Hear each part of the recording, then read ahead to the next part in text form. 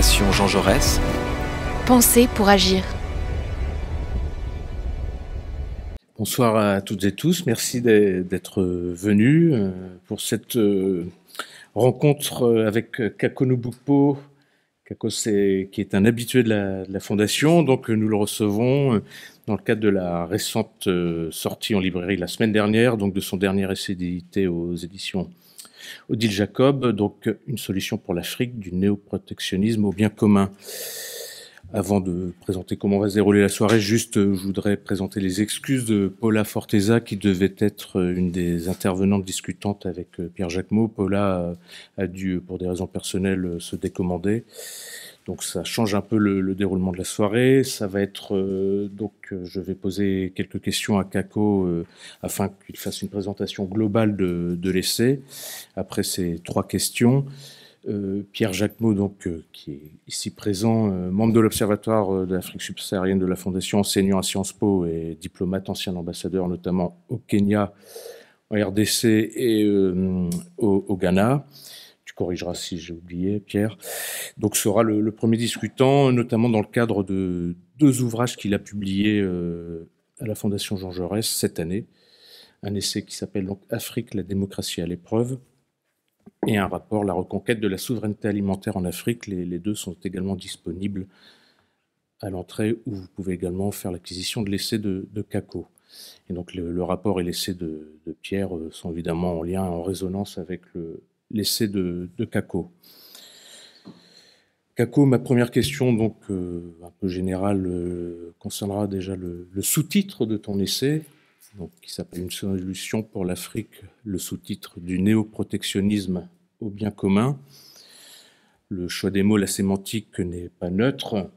Le néoprotectionnisme a une connotation politique forte, positive ou négative, c'est selon, mais justement, et celle de bien commun renvoie aussi à, aussi à des choix politiques, économiques. Donc, Kako, première question, si tu peux un peu nous, expliquer le choix de ces deux mots. Merci beaucoup, Alexandre. Donc, bon, bonjour à tous. Donc, notre session, ça va être vraiment une session de, discussion, d'échange, à, bâton rompu. Ce ne sera pas euh, une intervention d'amphithéâtre. Du, coup, euh, je, ne serai pas très long pour qu'on ait beaucoup de temps pour les, pour les échanges. Et, et, donc, pour répondre à la première question d'Alexandre, c'est. Bon, on, a, on a longtemps hésité pour le, pour le sous-titre.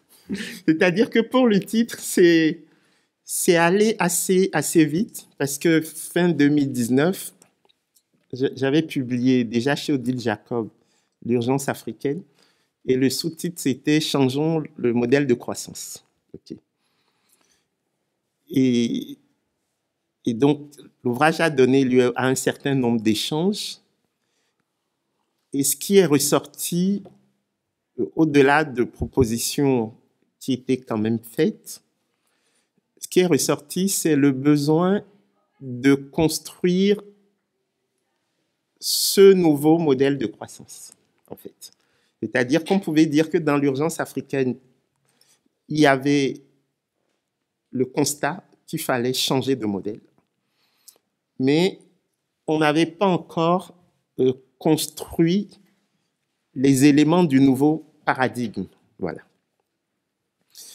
Et, à la fin de cet ouvrage, je me suis rendu compte qu'au fond, les deux les deux éléments majeurs qui, qui, qui, donnent sens à, l'ouvrage, c'est un, il faut protéger l'Afrique, il faut préserver les, biens communs africains, il faut préserver les forêts africaines, il faut éviter que l'Afrique soit la proie de toutes les prédations, soit la proie de, de, de toutes, les, de toutes les convoitises avec l'irruption des émergents euh, en particulier.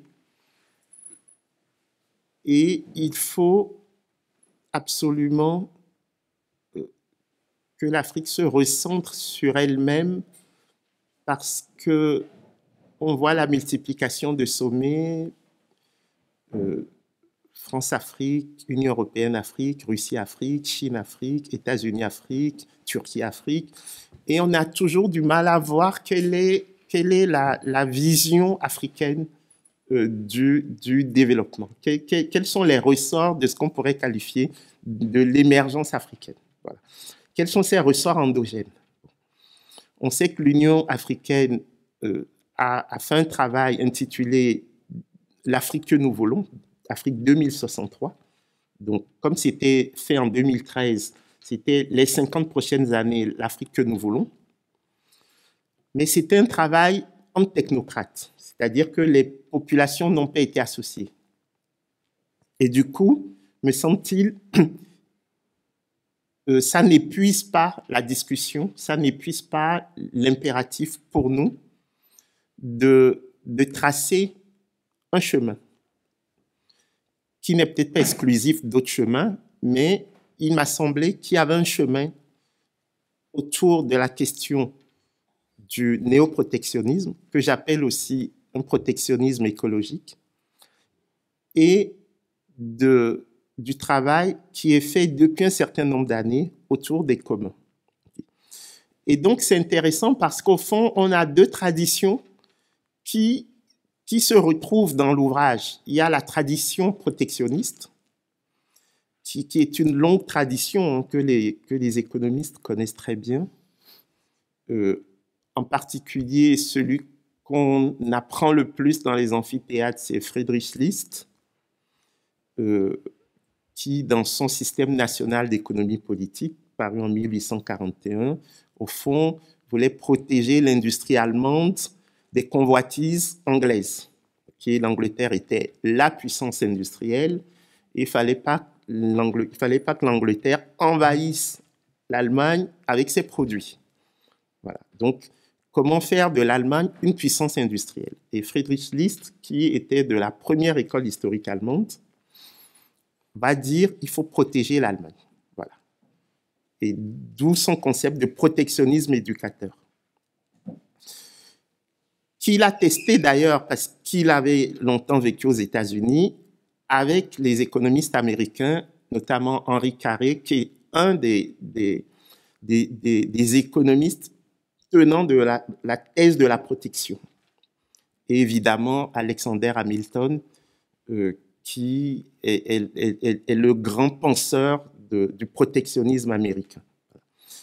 Du, coup, euh, il y a d'ailleurs un journaliste de France 24, Ali Laïdi, qui est politiste, qui a sorti un ouvrage très intéressant sur l'histoire euh, mondiale du protectionnisme, que je vous conseille, très riche, et, avec qui j'ai eu un échange hier. Ça va être diffusé sur France 24 la semaine prochaine. Euh, au fond, pourquoi cette question est intéressante en Afrique? C'est parce que depuis le début des années 1980, et les programmes d'ajustement structurel, le, le, modèle dominant euh, était celui du néolibéralisme. Okay. Euh, dans, les 20 premières années des indépendances, on a eu euh, ce que Philippe Hugon a appelé le temps du volontarisme, c'est-à-dire de jeunes nations qui essayaient de, construire les infrastructures de base. En Algérie, par exemple, et Gérard de Bernis a beaucoup travaillé là-dessus, on a eu ce qu'on appelait les industries industrialisantes. En Afrique subsaharienne, on a eu beaucoup d'éléphants blancs, donc de grands projets qui n'ont rien donné. Et à la fin des années 70, début des années 80, euh, avec le contexte du surendettement, on a eu les programmes d'ajustement structurel. Et du coup, ces programmes d'ajustement structurel nous ont embarqués dans la voie du néolibéralisme, avec ce qu'on appelle les éléments de la désinflation compétitive, hein, donc les quatre. Un, euh, l'équilibre budgétaire. Deux, une politique monétaire monétariste, donc, dont la seule ambition est la stabilité des prix, j'y reviendrai. Trois, une politique de réduction des coûts, notamment les coûts salariaux, donc le salaire. Et quatre, un ensemble de réformes structurelles bâties autour des privatisations des entreprises publiques et de la libéralisation de l'économie. C'est ce qu'on appelait le consensus de Washington. Et ça, on n'en est pas sorti. 40 ans après, on est toujours dans l'ajustement structurel. Avec euh, quelques inflexions depuis une dizaine d'années euh, issues des deux chocs symétriques mondiaux, c'est-à-dire le choc de 2008, la crise des subprimes, et la pandémie de Covid, qui ont ramené l'État au cœur avec le fameux quoi qu'il en coûte. Et donc, c'est compliqué pour le FMI et la Banque mondiale de dire aux Africains aujourd'hui, euh, les politiques euh, tenues par les États et contracycliques volontaristes seraient acceptables au nord, mais pas au sud. Donc, il y a quand même eu beaucoup d'inflexions ces dix dernières années euh, dans nos relations avec le Fonds monétaire et la Banque mondiale. Mais quoi qu'il en soit, il n'y a pas de modèle alternatif. Et c'est un des intérêts de cet ouvrage, me semble-t-il, c'est de dire d'emblée, il faut se protéger. Voilà, le néoprotectionnisme, c'est une voie. Évidemment, nous, avons, euh, nous sommes connectés à des, à des traditions euh, hétérodoxes, euh, notamment l'économiste égyptien Samir Amin, qui, qui avait déjà fait tous les constats et qui a soutenu sa thèse de doctorat à Paris en 1957, l'accumulation à l'échelle mondiale, qu'il a ensuite retravaillé pour publier le développement inégal, et, tout ce qu'on a appelé la bande des quatre, qui est avec euh, euh Algérie et, Emmanuel, euh, André Gunther Frank, euh, Samir Amin et Emmanuel Wallerstein, qu'on a appelé la bande des quatre, qui, qui étaient les tenants de l'hétérodoxie africaine ou africaniste, qui était parallèle du travail de la CEPAL, la Commission économique des Nations Unies pour l'Amérique latine, où là, vous aviez euh, les, deux écoles qui se sont succédées, l'école du développementisme,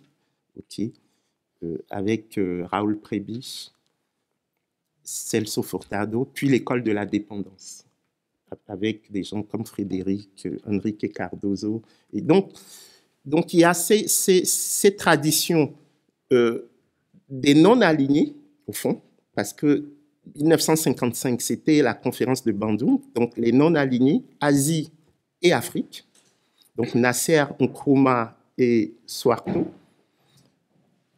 qui se connectent ensuite à l'Amérique latine.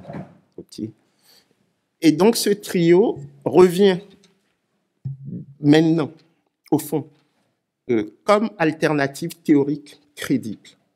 C'est pour ça que c'est passionnant de, revisiter le néoprotectionnisme, mais avec des, questions d'aujourd'hui. Euh, l'Afrique rend énormément de services écosystémiques au reste du monde. Le bassin du Congo, c'est un des deux poumons de la planète. Si on détruit la forêt du Congo, on détruit la planète. Et, on peut multiplier les exemples qui, font qu'on a l'obligation de, préserver le continent. Mais ça ne suffit pas parce que préserver, ça peut avoir une lecture défensive. Qu'est-ce qu'on propose de manière positive, c'est là qu'interviennent les, communs et les biens communs. Ok Je sais qu'il y a eu un travail qui a été fait, publié il n'y a pas longtemps par la Fondation Jean Jaurès sur les communs. Mais pour aller à l'essentiel, les biens communs sont des biens euh, dont la gestion non régulée peut engendrer la disparition, en fait. C'est un peu ça la définition des biens communs il suppose la présence de, trois éléments. La ressource, ok, ça peut être la terre, ça peut être l'eau, ça peut être la forêt. Ça suppose les parties prenantes. Quelles sont les personnes qui ont droit de citer lorsqu'on parle de la ressource? Et ça suppose des règles de gestion de la ressource. Et donc, c'est les trois éléments qui déterminent un commun en particulier un bien commun. Et ces biens communs, ils peuvent être tangibles, euh, comme les forêts, les lacs, euh, les cours d'eau, les rivières, mais ils peuvent être aussi informationnels. Lorsqu'on parle, comme je le fais dans le chapitre 5, des communs numériques, euh, c'est des, biens qui sont intangibles. ok? Wikipédia, c'est un bien commun. ok? Chacun peut rajouter à tout moment euh, quelque chose dans ce dictionnaire. Les ressources éducatives libres, les, les, MOOC, ce sont des biens communs. Et donc, vous avez euh, tout un mouvement autour de la gratuité, autour du partage, autour de la solidarité, autour de ce qu'on appelait le polycentrisme, donc une forme de décentralisation dans la prise de décision, euh, qui font que les communs sont aujourd'hui une alternative crédible à la fois au marché et à l'État. C'est ce, qui est, ce qui est intéressant dans les communs. C'est que ce n'est pas étatique et ce n'est pas non plus le marché. Donc, c'est ce qu'on pourrait qualifier de troisième voie. Et je le dis dans l'ouvrage, les communs me parlent. Pourquoi? Parce que l'Afrique, c'est un continent sur lequel vous avez une double défaillance. Défaillance de l'État qui n'assure pas ses services publics et défaillance du marché qui ne permet pas l'allocation optimale des ressources. Et donc, autant les communs peuvent être perçus dans le monde occidental comme un optimum de second rang et donc euh, micro, de petites communautés qui font des systèmes d'échanges locaux avec de petites monnaies locales et autres, ou des gens qui se rendent des services dans le cadre du don et du contre-don. Donc quelque chose qui pourrait être du micro à côté de l'État et du marché, autant, me semble-t-il, en Afrique, les communs pourraient être un mode de production macro. Et c'est d'ailleurs euh, des échanges que j'ai avec les spécialistes des communs. Est-ce qu'on peut envisager une macroéconomie des communs? Et on a un ouvrage qui va sortir l'année prochaine avec euh, l'AFD, euh, avec quelqu'un comme Benjamin Coria, qui est un ancien de Paris 13, Stéphanie Léronas de l'AFD et d'autres.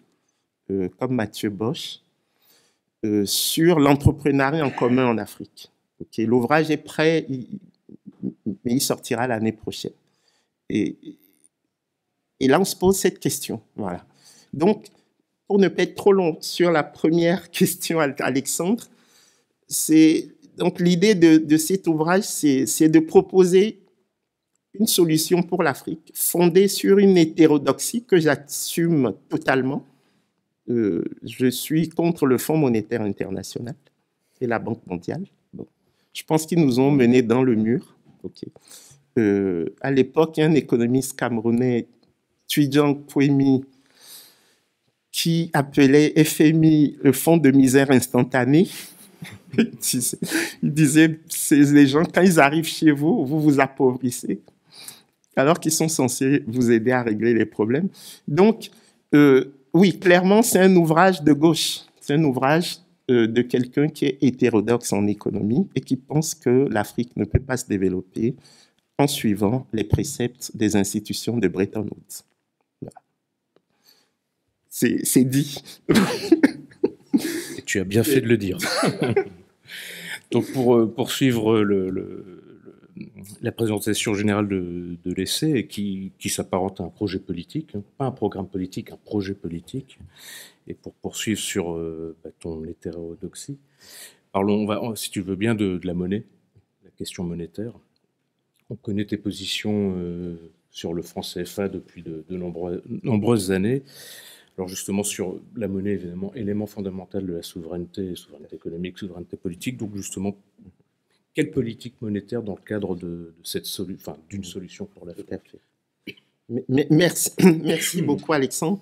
C'est passionnant la monnaie parce que, comme disait euh, l'économiste français Jacques, Jacques Rueff, la monnaie est l'espace dans lequel se joue le sort de la liberté politique et le destin du développement économique. C'est pour ça que la monnaie m'intéresse, parce qu'on est vraiment à la croisée de, de ce qui fait société.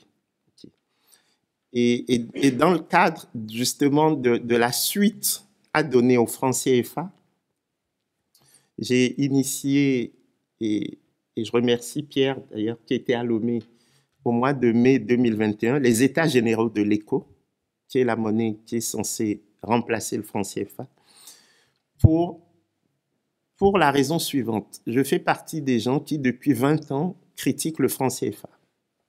Et, je rappelle pourquoi le, franc CFA ne me paraît pas être une bonne monnaie. Mais on ne peut pas, en tant qu'intellectuel, chercheur, politique, euh, s'arrêter à la critique. Il faut proposer une alternative. D'où l'idée des États généraux de l'écho en disant, nous, les 15 États ouest-africains réunis au sein de la communauté économique des États de l'Afrique de l'Ouest, la CDAO, nous souhaitons depuis 1983 avoir une monnaie. Euh, pendant longtemps, on est allé de report en report. En 2000, on a, réactivé la pompe avec la création de ce qu'on appelait la ZMAO, la seconde zone monétaire d'Afrique de l'Ouest, qui regroupait les États non francophones, disons, non CFA. Faut savoir que dans les 15 États de la, la CDAO d'Afrique de l'Ouest, vous avez 8 États qui partagent le franc CFA. Et dans ces 8, vous avez 7 qui sont francophones, plus la Guinée-Bissau qui est lusophone et qui a rejoint la zone franc en 1997. Okay. Et à côté, vous avez les autres qui sont essentiellement anglophones, plus quand même la Guinée-Conakry qui est francophone, mais qui n'est pas euh, dans le CFA. Et, du coup, cette seconde zone monétaire a décidé en 2000 de créer une monnaie qui, à terme, allait fusionner avec le franc CFA pour donner la monnaie de l'ensemble de l'Afrique de l'Ouest, en fait. Et le nom que cette zone avait choisi pour leur monnaie, c'était l'écho. En fait, c'était ça le truc. Et comme tout ça ne bougeait pas, les chefs d'État, dans les années 2015, ont décidé de ne plus adopter cette méthode en deux étapes, c'est-à-dire faire d'abord une monnaie pour les anglophones et puis fusionner avec le franc CFA. Ils ont dit, faisons une seule étape, allons directement à l'écho. Donc le CFA, c'est une monnaie parmi d'autres, comme le Dalasi gambien, le Cedi ghanéen, le Naira nigérian, fusionnons l'ensemble. Et donc en 2020, euh, nous allons avoir une monnaie pour l'ensemble des 15 États et qui s'appellerait l'ECO. Maintenant, le 21 décembre 2019, le président Macron se rend à Abidjan et avec son homologue, son homologue ivoirien, Alassane Ouattara, annonce que désormais le franc CFA allait s'appeler ECO. Bon. Euh, stupeur et tremblement. stupeur et tremblement. Pour être tout à fait honnête, moi, je fais partie des gens qui ont applaudi les annonces d'Abidjan. D'ailleurs, ça m'a été beaucoup reproché. Mais pourquoi j'ai applaudi? Parce que pendant 20 ans, on, s'est battu pour dire que le CFA n'était pas une bonne monnaie. Et tout à coup, les gens qui nous disaient que c'était une bonne monnaie reconnaissaient à la face du monde qu'il y avait un problème. Et le président Macron, je me rappelle très bien, avait dit, en regardant son homologue ivoirien, j'ai écouté vos peuples. Donc, quand les chefs d'État ouvrent un chemin, c'est absurde de, dire oui, mais c'est pas ce que nous aurions voulu, donc euh, circuler, il n'y a rien à voir. Non. Quand vous êtes de bonne foi, vous n'agissez pas comme ça. Vous dites, OK, il y a un chemin qui est ouvert, ce n'est pas selon nous l'idéal, mais comment nous pouvons, nous, euh, intellectuels africains, euh, profiter des annonces qui sont faites pour construire le, le chemin. Et du coup, on s'est retrouvé d'emblée avec deux échos dans la tête des gens. L'écho qu'on appelait Macron-Ouattara, que d'autres ont appelé l'écho CFA, et puis l'écho de la CDAO. D'autant plus que quelques semaines après les annonces des présidents Macron et Ouattara, les ministres des Finances de la seconde zone monétaire d'Afrique de l'Ouest se sont insurgés contre ce qu'ils ont considéré comme étant clairement une OPA inamicale de la France sur la monnaie de la CDA. Donc, c'est ce qui m'a conduit avec quelques amis à organiser les États généraux de l'éco à Lomé au mois de mai 2021. Et, et j'en parle dans l'ouvrage. Et ces États généraux ont débouché sur ce qu'on appelait la déclaration de Lomé, qui, euh, au fond, dit que l'éco, dans un premier temps, pourrait être une monnaie commune et pas forcément unique, vu toutes les difficultés qu'on a mais c'est important de la créer, même symboliquement, parce que ce qui est nommé existe. Et à partir du moment où on crée cet écho, euh, un certain nombre de gens, dont Pierre, et Pierre pourra revenir là-dessus, euh, ont estimé qu'on pouvait rattacher cette monnaie à un panier de devises, dont l'euro, le dollar, le yuan, la livre sterling. La livre sterling parce que le Nigeria a 80% de ses réserves de change en livres sterling. Et le Nigeria, c'est plus de deux tiers du produit intérieur brut d'Afrique de l'Ouest et 52% de la population. Donc, vous ne pouvez rien faire en Afrique de l'Ouest sans le Nigeria. Euh, c'est pour ça qu'il y a la livre sterling dans le panier qu'on propose. Donc, on définit le panier et maintenant les monnaies nationales seraient rattachées via des systèmes de taux de change fixes mais ajustables à cette monnaie éco. Et on définirait un tunnel de fluctuation de ces monnaies autour de l'éco. Et parallèlement, on aurait, dans le cadre d'une sorte d'embryon de fédéralisme budgétaire, euh, des transferts de ressources pour asseoir la solidarité qui devrait être au cœur de toute cette ingénierie. Mais les chefs d'État ne nous ont pas suivis, puisque les chefs d'État ont défini des critères nominaux de convergence, un peu comme le traité de Maastricht avait fait pour la création de l'euro. Et constatant l'absence de convergence nominale, les chefs d'État ont reporté à 2027 la création de l'éco. Du coup, euh, nous qui avons été aux États généraux de Lomé, nous ne sommes pas en phase avec ce report à 2027 de, de la discussion sur la monnaie. Nous pensons qu'il ne faut pas s'arrêter, qu'il faut débattre, il faut mettre les peuples dans l'histoire, il faut qu'on co-construise de manière symétrique cette monnaie éco. Et d'emblée, pour les 15, euh, on, pense qu'on ne peut pas euh, dire il faut un éco CFA et un éco CDAO. Non. Il faut mutualiser les efforts et mutualiser les gains.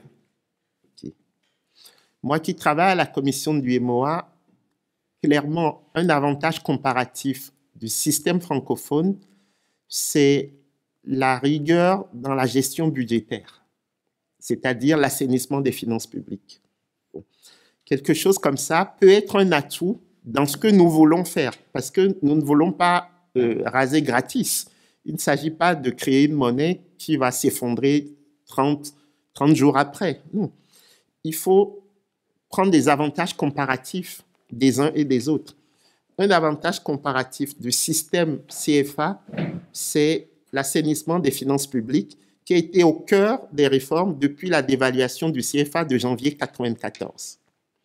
Un avantage comparatif des anglophones en Afrique de l'Ouest, c'est l'effort de financement de l'économie réelle. Que ne fait pas, me semble-t-il, le système CFA En tout cas, pas suffisamment. Le Nigeria, par exemple, oblige ses banques à octroyer au moins 60% des dépôts aux opérateurs économiques, sous peine de retrait de l'agrément bancaire. Et donc, on a, on a les ressources qui doivent nourrir l'économie réelle. Nous, dans le cadre de la commission bancaire de l'UMOA, nous avons des ratios prudentiels extrêmement euh, désincitatifs. C'est-à-dire que nos banques ont plus intérêt à financer les grands groupes que les petits producteurs. Parce que ces petits producteurs euh, n'arrivent pas à rentrer dans les clous de nos ratios prudentiels. Vous voyez? Donc, on peut multiplier les exemples, mais euh, notre philosophie, et je m'arrêterai là sur la question monétaire, notre philosophie, c'est de dire l'objectif pour l'Afrique, c'est la transformation structurelle des économies. Ça veut dire qu'une monnaie comme le franc CFA, qui, a accompagné le schéma colonial d'extraversion, c'est-à-dire alimenter la métropole à bas prix avec les matières premières non transformées sur place, une telle monnaie ne peut pas être la monnaie du 21e siècle africain, où vous avez 1 milliard 300 millions de bouches à nourrir. Et donc, comment trouver un système monétaire et financier qui va financer le marché intérieur africain? C'est ça. C'est la gestion de la transition. OK. Pour une transformation structurelle des économies africaines. Et suite à ça, nous avons créé ce que nous avons appelé les conversations monétaires de l'OMI, qui vont se tenir tous les deux ans et qui vont permettre de débattre des questions monétaires. Pas seulement en Afrique de l'Ouest. Dans les états généraux de l'écho concernaient l'Afrique de l'Ouest, mais il y, a, une problématique monétaire en Afrique de l'Est. Il y a la zone rente en Afrique du Sud. Euh, il y a le Maghreb. Donc, ces conversations monétaires de Lomé ont comme ambition d'échanger, de faire échanger les différentes disciplines, l'économie, bien sûr, la sociologie, l'histoire, la philosophie, autour du fait monétaire. Donc, on espère arriver à les, faire vivre dans, les prochains mois, dans les prochaines années. Merci Kako. Ma, dernière question euh, concernera euh, le thème qui fait l'objet de ton dernier chapitre, euh, celui de la relation entre la France et l'Afrique. Tu parles d'ailleurs de l'évolution sémantique de comment nommer cette relation. France-Afrique en un mot, France-Afrique, Afrique-France, tu, tu, y reviendras peut-être. Et tu parles d'ailleurs pour qualifier cette relation de vieux commun aussi pour revenir en, rappel des biens communs euh, du sous-titre. Alors, bah, la question, quelle relation entre la France et peut-être l'Union européenne et l'Afrique, les Afriques? C'est ça. Oui, merci beaucoup Alexandre. C'est une question euh, d'actualité, parce qu'on voit, moi je vis au Burkina Faso, et on a vu il y a quelques semaines des jeunes qui ont essayé d'incendier l'ambassade de France et le consulat.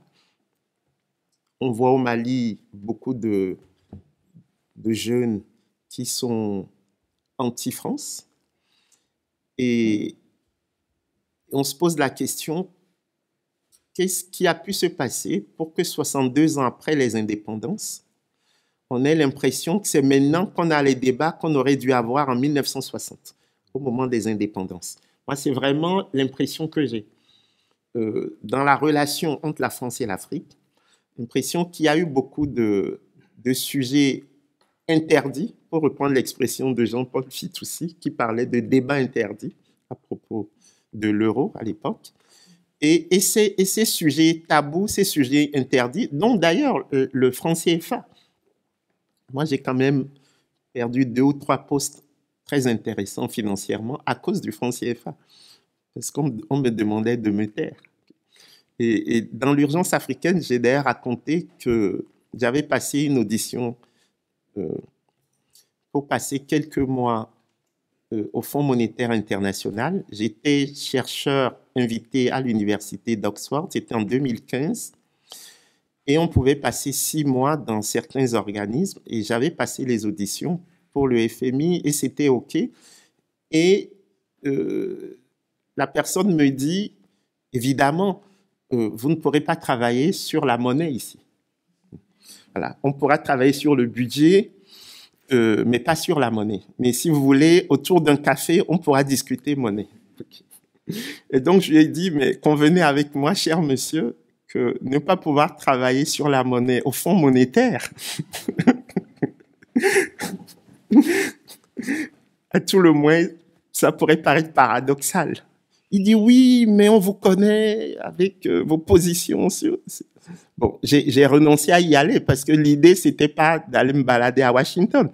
L'idée, c'était de faire bouger les lignes. Donc, quand on vous dit dès le départ que vous ne pouvez pas travailler sur le seul sujet qui vous intéresse, il n'y avait pas de raison d'y aller, quoi.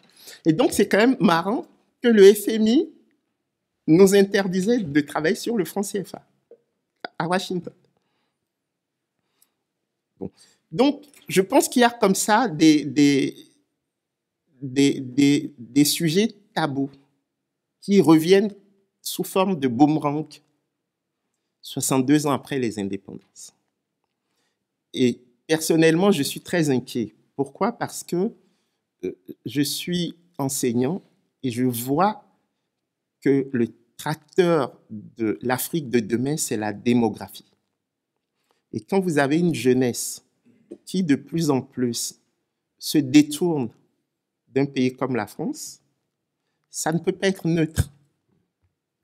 C'est pour ça que dans l'ouvrage, je parle d'une transition de vieux communs vers de nouveaux communs, en fait.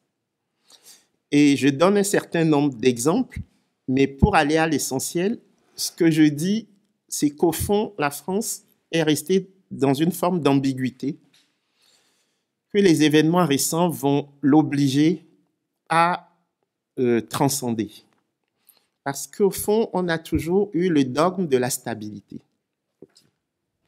Et cette stabilité, coûte que coûte, il fallait la maintenir. Même si les régimes étaient dictatoriaux, même s'il y avait de l'injustice sociale, euh, même si les droits humains n'étaient pas respectés, il fallait préserver la stabilité.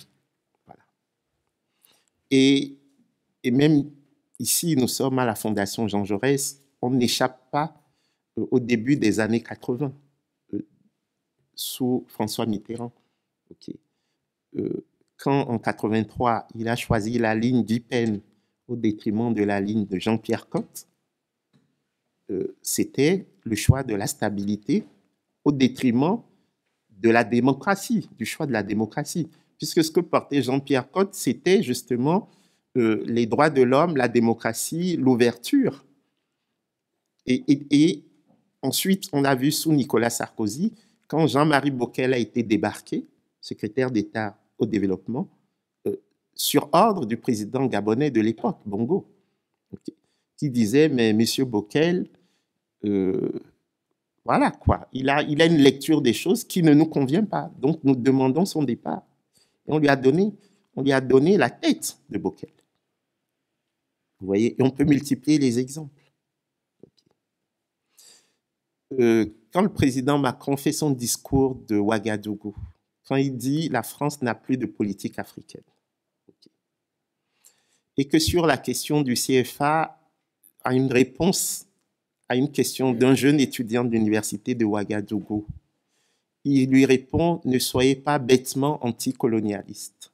Moi, j'ai fait un papier dans Le Monde qui m'a valu mon éviction de la francophonie, puisque j'étais directeur de la francophonie économique et numérique à, l'OIF, Organisation internationale de la francophonie. Et mon, papier est sorti le lendemain du discours. En fait, ce qui s'est passé, c'est que je m'étais dit, bon, Kako, si tu fais ce papier, tu risques d'être viré. Donc, ne le fais pas. Ça, c'était la veille au soir.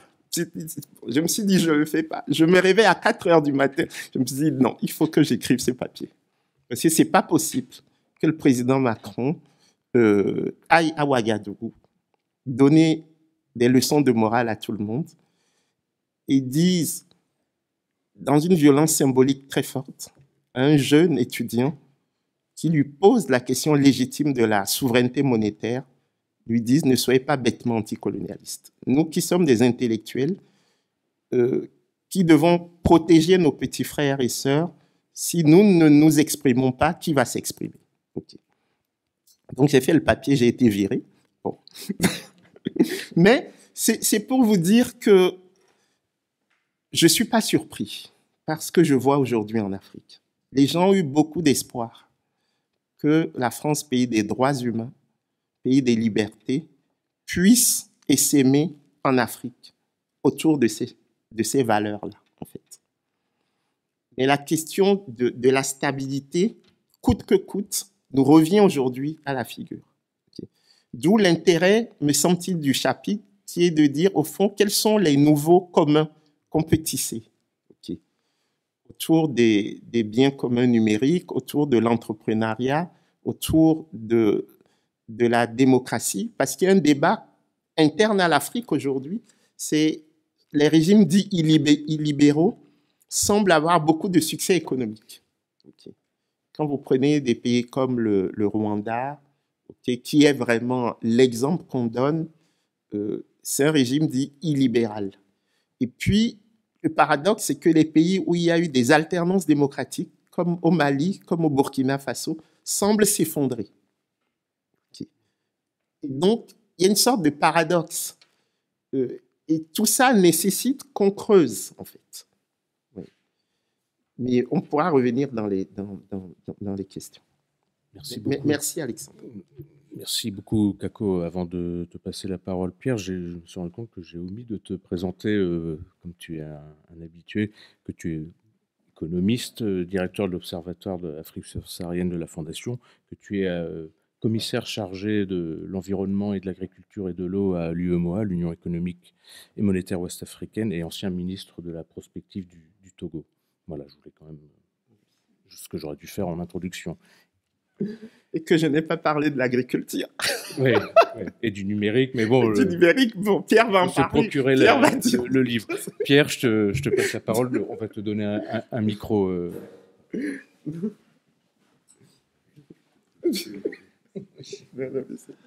euh, merci, Kako, euh, pour euh, ce brillant exposé. Moi, je trouve qu'il y, a un mot qui, définit en fait ton ouvrage. J'aime pas trop une solution, mais, c'est le mot reconquête des souverainetés, quelles qu'elles soient, alimentaires, agricoles, politiques, etc., industrielles. Je pense que c'est ça un peu la, la trame générale de, de, ton travail comme de ton ouvrage précédent? Alors, moi, j'ai surtout regardé, je ne te le cache pas, la partie foncier agricole, parce que je pensais qu'on allait parler de ça. Euh, J'aurais des commentaires à faire sur d'autres aspects, en particulier sur la relation France-Afrique, mais je pense que l'auditoire euh, sera aussi passionné par ce sujet. Je voulais simplement dire qu'au niveau de la fondation, euh, dans le reste, on a, on a un peu poursuivi, ou, ou, de manière parallèle au travail que tu as fait, euh, cette question de la souveraineté agricole et alimentaire. Et autour de quatre idées que je vais, développer euh, très rapidement. Un constat d'abord. Euh, les, actrices du changement sont les femmes. Si vous regardez ce qui se passe depuis 20 ans en Afrique, notamment dans le secteur agricole et alimentaire, ce sont les femmes qui sont à l'origine des transformations. Si vous regardez plus précisément pendant la période de la Covid et maintenant dans la situation critique sur les marchés alimentaires, ce sont les femmes qui sont à l'origine des innovations qui vont dans le sens de la reconquête des souverainetés. Attendez quelques mois, nous préparons un numéro spécial de la revue Afrique contemporaine, nouvelle version, exclusivement consacré aux femmes. Et on a 40 femmes qui travaillent avec nous pour préparer ce numéro. Donc c'est très spectaculaire. Et je crois que, alors tu, tu, le dis, mais un peu, un peu vite, je pense que ça mérite un chapitre complet tant c'est important. La deuxième chose qui me paraît importante, et alors là, je pense que tu as été un peu vite, si, je puis me permettre. Évidemment, tu, euh, défends l'agroécologie comme étant euh, l'option euh, majeure à, poursuivre dans le domaine agricole, mais tu, laisses entendre qu'il y a encore beaucoup de terres disponibles. C'est un imaginaire d'ailleurs qui, est très fréquemment répandu, celui de l'Afrique oisive, vide des terres disponibles. Et tu, parles, tu donnes un chiffre qu'on trouve assez souvent de 600 millions d'hectares disponibles. Or, nous avons fait un travail beaucoup plus fin à partir de données satellitaires. Et si euh, on retire les terres, évidemment les terres pastorales, les terres forestières, etc., mais surtout les terres qui sont inadéquates, euh, enfin inappropriées à l'agriculture, selon des critères de rendement euh, basiques, on arrive à 50 millions d'hectares dans le travail que nous avons fait pour la Fondation. Euh, donc c'est un petit complément, si tu veux, qui me paraît important. Euh, il y a aussi un sujet qui nous a beaucoup intéressé dans le cadre de ce travail, c'est celui de la relation ville-campagne, pour constater que les catégories rurales et urbaines sont de moins en moins euh, pertinentes pour comprendre ce qui se passe en Afrique, puisque 70% des Africains sont à l'interface de la ville et de la campagne, surtout si vous tenez compte de la réalité des villes secondaires. Et alors ça change beaucoup de choses, puisque ça nous amène à dire que l'espoir pour reconquérir cette souveraineté euh, que l'on souhaite tous, il faut euh, réfléchir notamment à partir de la ville sur la campagne, euh, et notamment sur le vivrier. Et puisque tu, aimes bien faire référence à des travaux, en particulier allemands, d'économistes allemands, il y a un célèbre modèle que connaissent les géographes, qui est le modèle Van Thunen, qui date du début du 19e siècle, euh, et qui permet d'apprécier quelle est, en fonction de trois critères, la rente foncière, la productivité, les coûts de transport, quelles sont les activités les plus pertinentes dans un espace géographique donné. C'est extrêmement intéressant de l'appliquer dans le contexte africain et c'est révélateur de beaucoup d'opportunités euh, en matière, en matière agricole. Et puis enfin, dernier sujet, j'arrêterai sur ce point-là, c'est euh, le pastoralisme qui est un peu le, parent oublié dans cette activité. Je rappelle que le pastoralisme en, Afrique concerne à peu près 250 millions de personnes, de près ou de loin. Si vous mettez en, vous considérez l'ensemble des activités liées euh, à la filière viande, à la filière lait, à la filière cuir et peaux, etc. Là, on vient de terminer un travail sur le pastoralisme. A-t-il un avenir en Afrique? Euh, Extrêmement intéressant. Et alors évidemment dans des situations d'insécurité, puisque pour ce qui concerne en tout cas le Sahel, il est en première ligne. On sait qu'il y a une stigmatisation des pasteurs, en particulier des Peuls, euh, dans la montée du terrorisme, une stigmatisation qui est absolument, euh, euh, comment dirais-je, très pénible à très pénible à vivre pour nous qui connaissons ces régions. voilà. Donc il y a, a on, souhaiterait avec toi, si tu veux continuer dans le cadre peut-être de l'observatoire, continuer cette réflexion euh, sur la souveraineté euh, agricole et alimentaire, qui est un sujet qui occupe au moins deux, de tes chapitres. Maintenant, si vous le permettez, je vais changer de, un peu de casquette et non pas commenter, mais apporter un complément à ce que Kako appelle la souveraineté, ce que nous appelons la souveraineté, sur le terrain politique. En d'autres termes, y a-t-il aujourd'hui des institutions en Afrique qui sont en mesure de pouvoir porter un tel projet politique alors, ce qui nous a amené, je vais être très bref parce que l'ouvrage est, également disponible, ce qui nous a amené à regarder, à faire un bilan de l'état de la démocratie en Afrique. Je vais, essayer de résumer ça très très brièvement. Euh, le premier constat, c'est que la démocratie électorale, l'élection, euh, est un fait euh, commun à l'ensemble des pays africains, si vous retirez l'Érythrée, euh, on a travaillé sur 655 élections en Afrique depuis 1990. Le tournant, c'est l'année 1990. Je, fais une précision, ce n'est pas le discours de la boule de Mitterrand, c'est la réunion la première conférence euh, euh, à Cotonou. c'est ça le, tournant incontestable, avec la, suite des conférences qui ont pu se tenir et qui ont mobilisé l'ensemble des acteurs et fait naître des processus démocratiques multipartites. Ça existait dans certains pays, on le sait en Sierra Leone, on le sait au Libéria, on le sait au Sénégal, mais de manière significative, pratiquement tous les pays ont basculé vers. Et on a fait un bilan de, ce que pu donner sur 30 ans euh, ces processus démocratiques, et un bilan extrêmement sévère. Il y a une appropriation, si vous voulez, du processus électoral. C'est certes un produit importé, euh, mais il y a une véritable appropriation, une, dénaturation dans certains cas, à tous les niveaux, dans l'élection proprement dite, enregistrement, enrôlement, comme on dit en Belgique, et en RDC, enrôlement très mal fait sur euh, les électeurs. RDC, le dernier recensement national date de 1984. Imaginez faire une, une, délivrance de cartes sur la base d'un état civil qui repose. Bon, c'est une extrapolation qui est particulièrement délicate. Euh, grosse anomalie dans l'élection proprement dite, dans son organisation, euh, et puis euh, beaucoup d'anomalies dans l'annonce des résultats, ce qui fait qu'on retrouve pratiquement de manière, de manière identique partout en Afrique des dispositifs électifs qui sont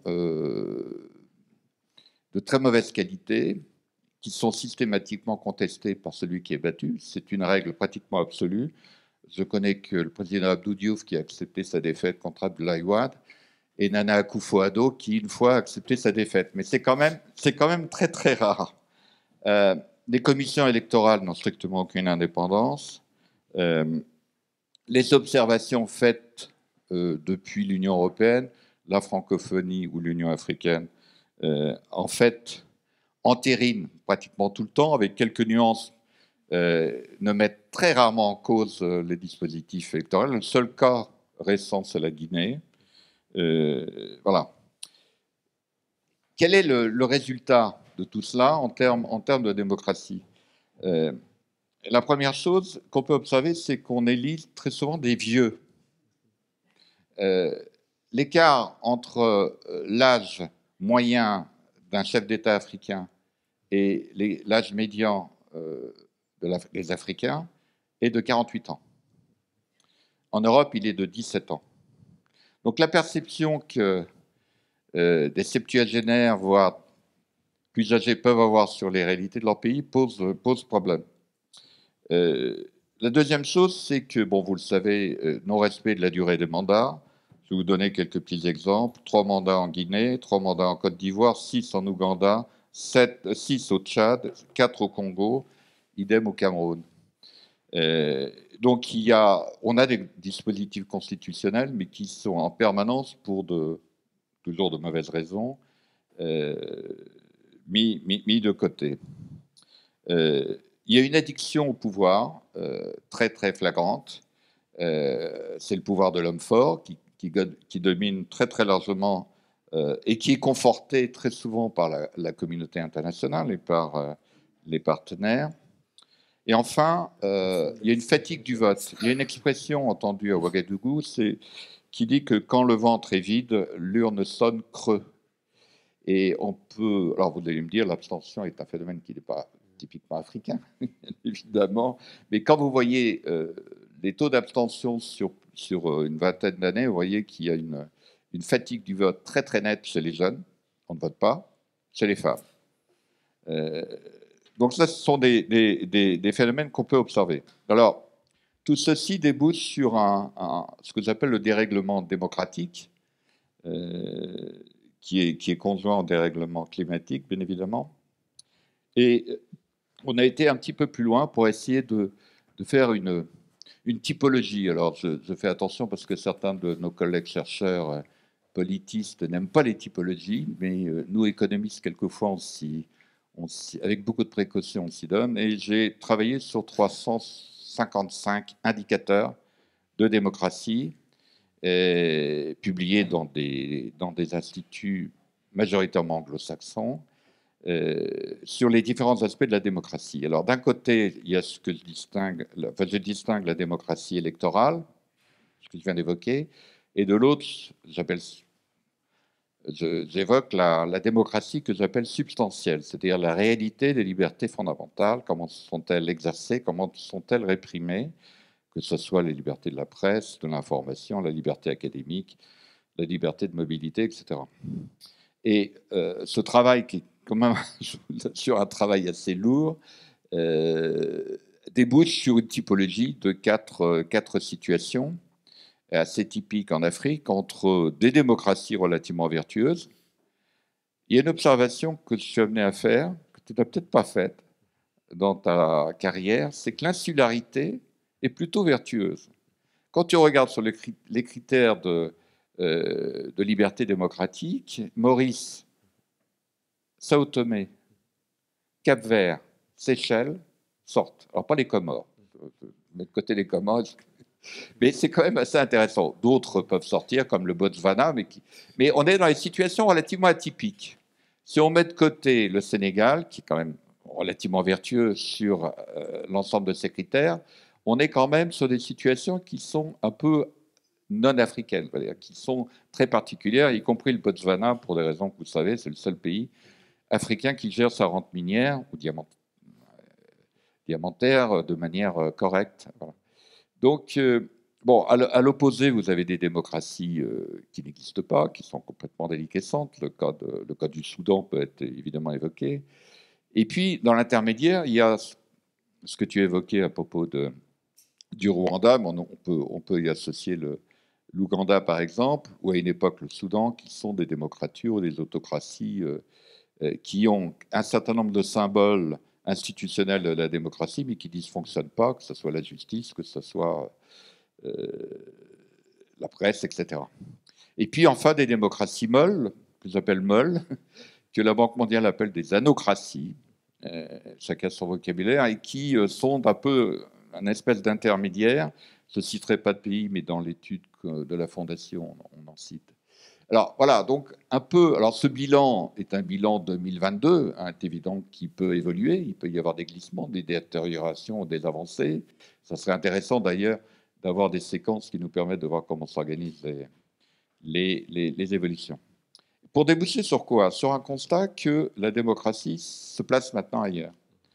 Euh, on a parlé du rurocratie à propos notamment des événements au Burkina Faso, mais incontestablement, il y a euh, une démocratie par le bas qu'on peut identifier derrière toute une série d'activités, en particulier des activités liées à des mouvements citoyens de jeunes, qui ont démarré, pensez à Yornamar ou le Ballet citoyen pour, euh, pour faire euh, rapide, mais on pourra en citer une quinzaine, qui ont démarré sur des contestations de l'ordre politique, avec une relative efficacité. Blaise Compaoré a sauté, Abdoulaye n'a pas pu faire, oui, je, termine. et qui ensuite se sont investis sur le contrôle de l'effectivité des programmes de ceux qui avaient gagné et maintenant sont en substitution à l'État pour prendre en charge toute une série d'activités que l'État ne, ne, prend pas en charge, que ce soit la gestion des déchets ou d'autres activités du domaine de la santé, du domaine de l'éducation. Voilà, donc un peu le cheminement de ce, travail, euh, qui est un travail en cours, qui évidemment... Euh, alors, je reviens juste, et je termine là-dessus, une proposition que j'avais déjà faite pour notre observatoire, c'est qu'il me, paraît, il me paraîtrait très intéressant euh, d'être, d'avoir cette attitude d'observateur pour identifier quelles sont ces innovations sociales et, en tout cas pour les repérer, les identifier, voir dans quelle mesure elles peuvent monter en échelle, sortir d'un volet micro, ici ou là, pour voir dans quelle mesure elles sont annonciatrices d'un changement et d'une conquête de la souveraineté politique qui, que tu appelles de tes voeux. Merci beaucoup, Pierre. Je vous propose de prendre euh, deux, trois questions pour euh, engager le débat. Si, vous pouvez vous présenter, ça facilitera. Donc, qui a le. Donc, monsieur et après monsieur là. Euh, je me lève ou. C'est bon? il y a pas de Ok, il y a pas de bonjour et bonsoir. Merci beaucoup, professeur. Souleymane Kamara. Je suis en formation en développeur web. Il y a tellement de choses à dire. Bon, je ne sais pas si on va aller sur une simple question. En fait, on vous suit depuis, hein, depuis la servitude volontaire, l'urgence africaine et le troisième que vous venez de sortir. on va faire c'est un constat général des faits. On ne va pas rester sur une question monolithique. Dans le fond, quand on analyse le truc, on sait que non, il n'y a pas de trame endogène. C'est ça le véritable problème.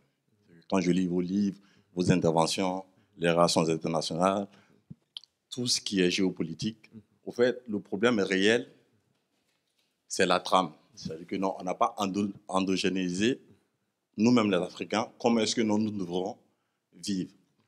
Une prospection à long terme, définir nos besoins, étudier la demande et adapter l'offre à la demande par rapport à nos réalités.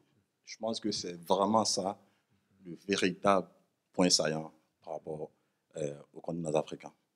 Si on, veut bien regarder, même si on revient sur, par rapport au, système démocratique, comment est-ce que ça se passe, quand on regarde dans le fond, c'est parce que tout simplement nous, Africains, on n'a pas décidé.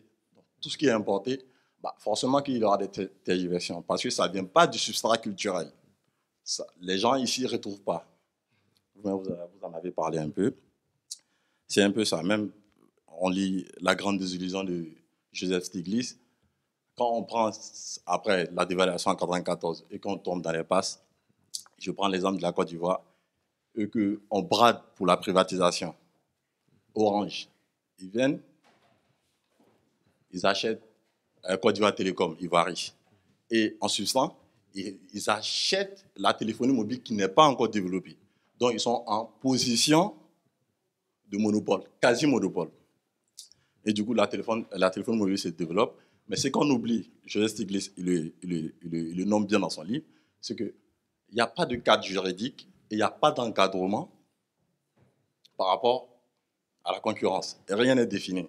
Donc, du coup, Orange, ils sont en super puissance. Et maintenant, quand la concurrence se libéralise, après, il y a MTN qui vient, il y a Cause qui vient, bah, ils essaient de créer tout simplement un oligopole et ils éliminent les petits, comme Café Mobile qui est venu après. Et Orange, ils font un super profit en 2014. L'État dit ah, les gars, vous avez fait un super profit, on va essayer. Ah, ok. On va essayer de, de trouver une solution adéquate. Bah, on va augmenter les taxes. Bah, Qu'est-ce qu'ils font? Ils défacent les taxes sur les consommateurs.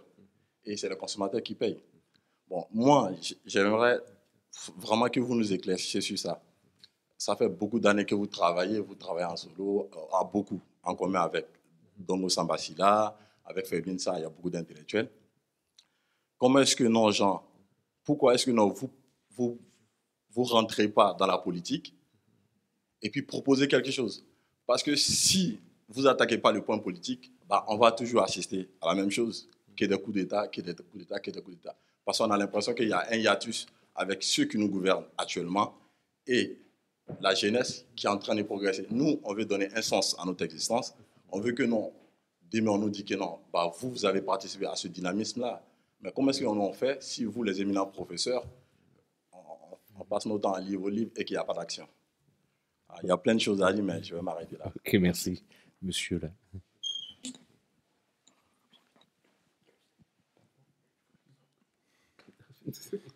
Euh, bonjour et merci de votre exposé. Euh, je vous avais posé la question il y a quelques années déjà euh, concernant. Présentez-vous s'il vous plaît. Non, non, vous présentez. Ouais, Jean-Paul Van Love. Je- enfin, j'étais le président d'Artisans du Monde Paris il n'y a pas très longtemps encore. Euh, à l'époque, j'étais d'ailleurs le président d'Artisans du Monde Paris. Quand je vous ai posé cette question en disant, en fait, les gens du commerce équitable se retrouvent, euh, allez, 80, plus de 90% des propositions que vous faites. Ils mettent en œuvre de ces choses-là avec un certain une croissance à peu près de 10% par an de, de, de ce qui rentre dans le commerce équitable. Euh, la seule remarque que vous auriez pu me dire à l'époque, c'est que le commerce équi- équitable est organisé par des gens du Nord au bénéfice de gens du Sud.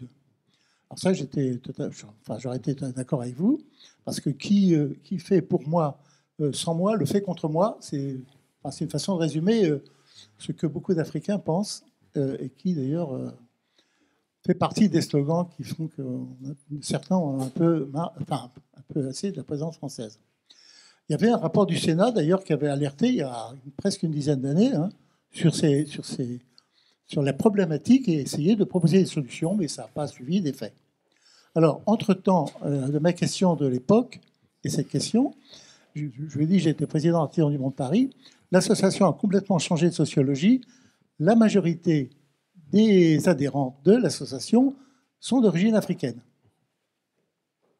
En particulier avec un certain nombre de, personnes d'origine africaine, Bénin, etc., qui ont des projets de développement. Alors, dans le cadre du commerce équitable, c'est effectivement autour de petites structures. Bien évidemment, ce n'est pas au niveau de, vos politiques euh, euh, macroéconomiques, mais quelque part, ça a valeur d'exemple parce que ça traque à des petits producteurs, on est des modèles, et quand même, petit à petit, euh, on change la société. Ce qui est nouveau aussi, constaté, euh, c'est que maintenant, beaucoup d'Africains considèrent que l'outil commerce équitable, c'est-à-dire euh, est, pertinent. Et je finirai, je viens de faire, je viens d'organiser une conférence sur le commerce équitable et, l'agriculture périurbaine. J'avais fait sur l'agroforesterie l'année dernière. C'est ce travail-là de fourmi que nous faisons, mais qui va vraiment euh, dans votre sens. Et je suis toujours preneur que nous en disions. Oui, oui. Encore une question, s'il vous plaît. qui-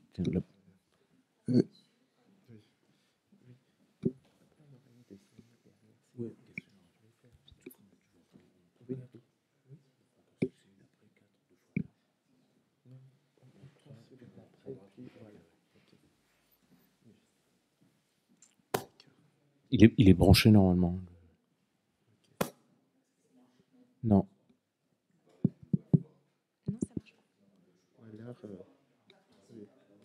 Alors, on va vous en... euh, Celui-ci fonctionne mieux, je crois.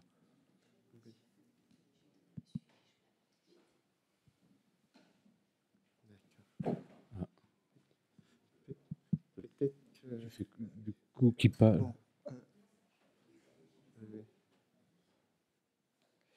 Il y a un problème avec les micros. ou peut- peut-être que je peux commencer à répondre. Ouais, on va. Du coup. Kako va répondre et, Et- puis on et va. comme ça, on Dans la de- deuxième ouais, vague, Voilà. vous pourrez.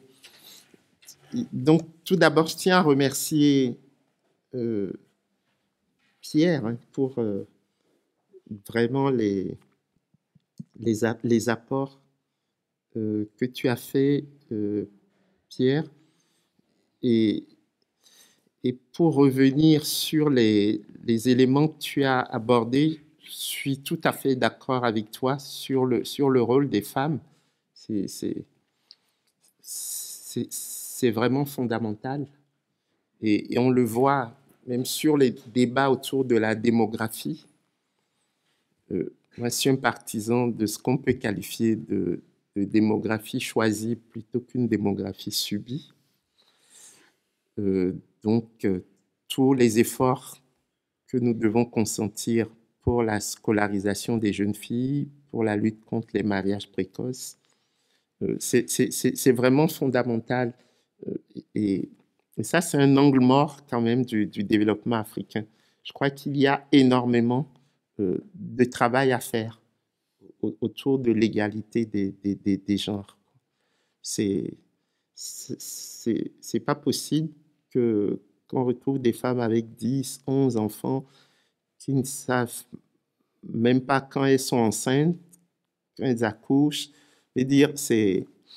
Et puis, comme l'Afrique, c'est le continent le plus inégalitaire au monde, puisqu'on a le degré d'inégalité entre pays aussi élevé qu'en Asie, mais on a le degré d'inégalité à l'intérieur des pays, intra-pays, aussi élevé qu'en Amérique latine, on a les latifundia qui côtoient les paysans sans terre. Il y a un enjeu important au niveau de la démographie. C'est que ce sont vraiment les zones rurales où il y a le plus de pauvreté, qui a le plus d'enfants. Et, je me souviens, euh, il, y a une dizaine d'années, euh, moi j'avais une fille et mon chauffeur à Ouagadougou euh, avait sept enfants à peu près. Et donc un jour, je lui dis, mais Rasmani, tu as combien d'enfants? Il me dit, patron, c'est beaucoup. Parce qu'il se rendait compte que moi, j'avais qu'un enfant. Et du coup, il dit, il dit, c'est beaucoup. Je dis, combien? Il dit, en tout cas, c'est beaucoup. Bon. Donc, le problème, c'est quoi? C'est que quand je voyais le salaire que je lui versais et le nombre d'enfants qu'il avait, vous voyez que par rapport au salaire que moi j'avais et le nombre d'enfants que j'avais, ces gens, on, ne partait pas dans la vie avec les mêmes chances.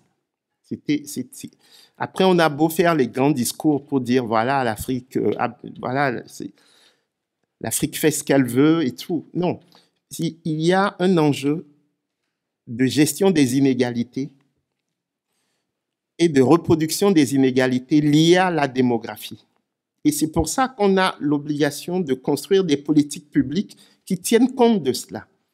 C'est-à-dire qu'en termes euh, purement quantitatifs, c'est une force, la démographie, c'est une force. Moi, je sais que l'Afrique, c'est la prochaine euh, force motrice du monde, parce qu'on a 1 milliard 300 millions d'habitants, on a une population dont la taille double tous les 25 ans, donc on sera plus de 2 milliards en 2050, et on a 40% de la population qui a moins de 15 ans, et les deux tiers qui ont moins de 30 ans. Il n'y a pas dans l'histoire du monde une telle configuration démographique qui n'ait pas débouché sur une puissance économique. Ça n'existe pas. Mais ça ne peut pas se faire de façon mécanique. Donc il faut organiser cela. Il faut des politiques de redistribution de la richesse, de sorte que cette puissance démographique s'incarne dans les années à venir euh, en termes de puissance économique. Et ça rejoint le deuxième point que Pierre a abordé sur euh, les, les terres, sur, sur la présence des terres. C'est vrai que moi, mes chiffres venaient plutôt des, des prospectives de l'INDRAE, mais euh, comme, comme tu l'as dit, euh, elles, elles, elles, peuvent être nuancées. Mais il n'empêche que même si on part simplement des rendements, il y a un potentiel euh, d'accroissement de la production agricole en Afrique qui est tout à fait intéressant. C'est-à-dire que si on couple la possibilité d'étendre encore un peu plus les superficies cultivées, à modulo tout l'enjeu de la déforestation, hein, on est, on est d'accord là-dessus. Il ne s'agit pas de faire comme la Côte d'Ivoire qui a perdu 90% de sa forêt euh, en un demi-siècle du fait de l'étendue des champs de café cacao.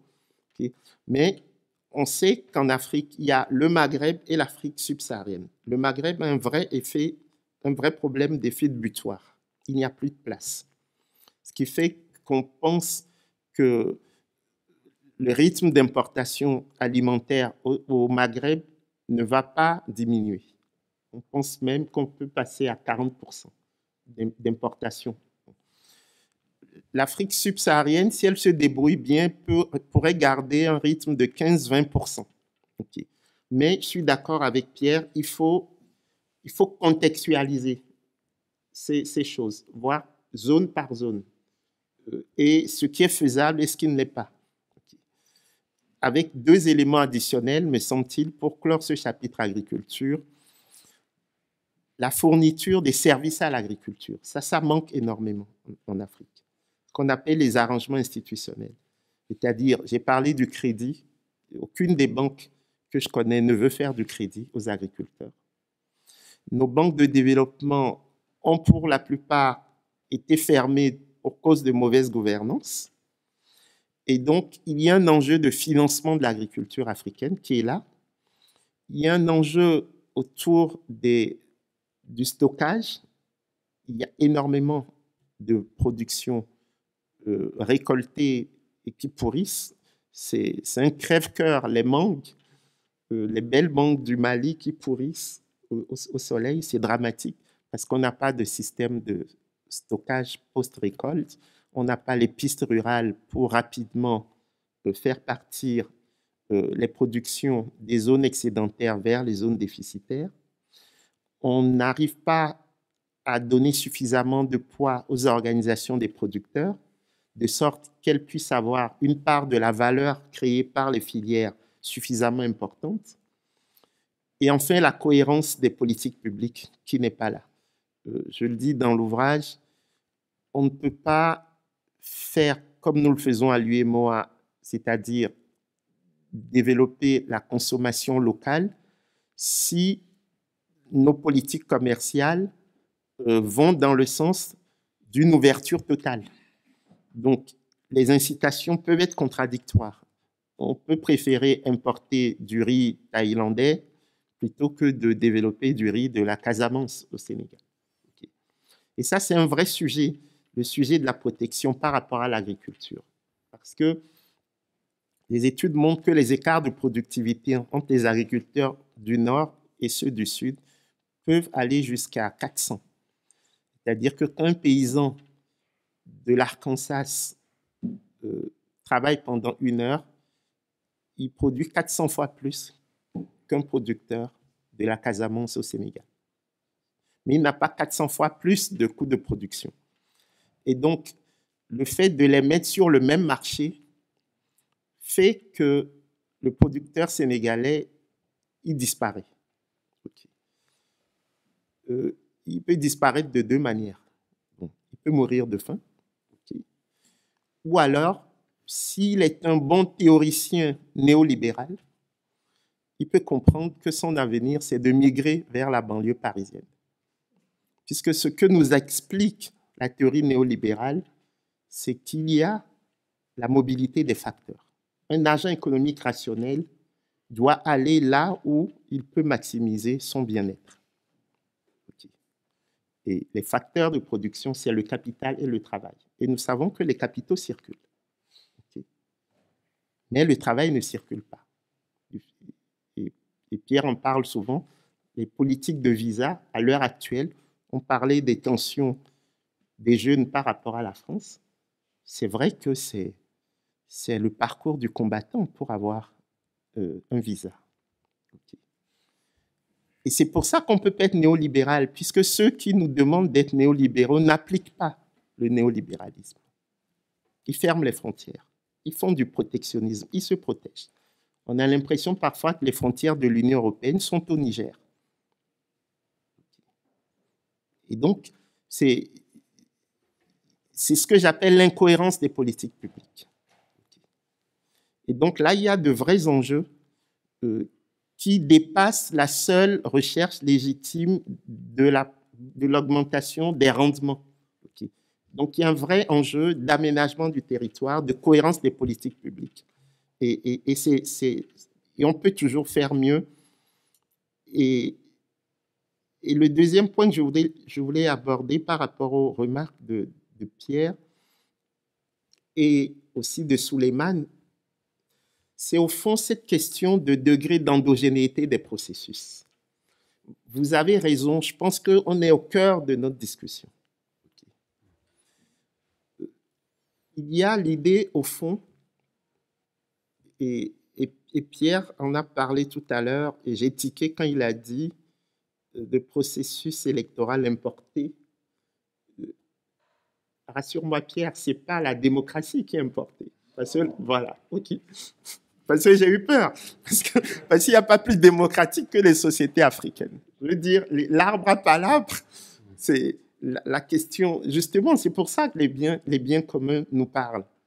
Parce qu'au fond, s'il y a une société qui refuse la séparation entre l'être humain et les autres êtres vivants, c'est bien la société africaine. Parce qu'on respecte même ce qui ne peut pas parler. Et, même les matières inertes. Et donc tout l'enjeu, c'est comment mettre cette philosophie au service du bien-être aujourd'hui, dans le cadre d'États-nations qui sont des produits d'un système historique que nous connaissons, la colonisation, et du principe d'intangibilité des frontières issues de la colonisation qui a été au cœur des indépendances africaines. C'est pour ça que je disais tout à l'heure, on a l'impression que ce que François, Pérou appelait les bannis récalcitrants reviennent 60 ans après les indépendances à la figure. Parce que tous les mouvements djihadistes dont on parle, de manière euh, évidente, utilisent des logiques territoriales précoloniales. C'est quand vous voyez comment Boko Haram fonctionne, Boko Haram utilise des logiques territoriales précoloniales. C'est les anciens empires, c'est les anciens royaumes. Parce qu'au fond, on se retrouve, avec des nuances bien entendues, dans des États qui ne sont pas des nations. Et donc tout est urgent, parce qu'il faut construire le vivre ensemble. Euh, et, et, et ça, c'est pas, vous ne le faites pas en, en, en 10 ans, en 20 ans. C'est très compliqué. Et puis les gens oublient. Prenons le cas de l'Europe. Depuis quand la démocratie est installée en Europe? Le régime des colonels en Grèce, c'est pas très longtemps. La révolution des œillets au Portugal, il n'y a pas très longtemps. Même l'Espagne de Franco, c'est pas très longtemps. Les femmes ont eu le, droit de vote en France en quelle année? En 1945, après la Seconde Guerre mondiale. Donc, tout ça, ça permet de relativiser et de dire, construisons un monde en commun euh, avec les personnes de bonne volonté et, et, essayons d'imaginer, et c'est pour ça que moi je suis confiant dans l'Afrique de demain. Parce que quand vous avez des jeunes, vous avez forcément des innovations. Ça va ensemble. Okay. Et, du coup, euh, moi, je fais partie des gens les plus vieux d'Afrique. Je suis né en mai 68. C'est fini, là. Okay. L'autre fois, quelqu'un m'a envoyé un, message sur LinkedIn, un jeune Togolais. dire, monsieur, est-ce que vous connaissez euh, l'initiative Bâtissons la cité? Il dit, ah non, c'est quoi comme initiative? Il me dit, c'est une initiative de jeunes Togolais qui ont entre 20 et 32 ans, à peu près, pour trouver des solutions concrètes pour le développement du Togo. Ok. Ça m'a donné un coup de vieux, mais incroyable. et en même temps, ça fait plaisir, parce que ça veut dire que chaque génération prend en main ses, ses, défis. Ok. Et, donc ça, c'est quelque chose d'important. De, je, vais aller plus vite et revenir sur certaines questions de, de Souleymane Camara et de Jean-Paul. Euh, je crois, par rapport à vos préoccupations, le rôle des élites africaines est fondamental. Moi, ce que je retiens dans ce que vous dites, au fond, c'est que nous, les élites africaines, on n'est pas représentatifs de la majorité des Africains, ou en tout cas des, aspirations de la majorité des Africains. Et ça, c'est un drame en soi. Et, c'est un drame qui est historiquement connoté. Et, j'avoue que quand j'étais au gouvernement, euh, lors d'un séminaire, j'avais dit que je ne me sentais pas légitime pour être ministre. Et bon, ça avait créé du tollé. C'était en 2014, je crois. Parce que je disais, au fond, qu'est-ce qui fondait ma légitimité? Être dans un gouvernement, c'est parce que j'ai coché les cases de l'excellence universitaire occidentale. C'était ça.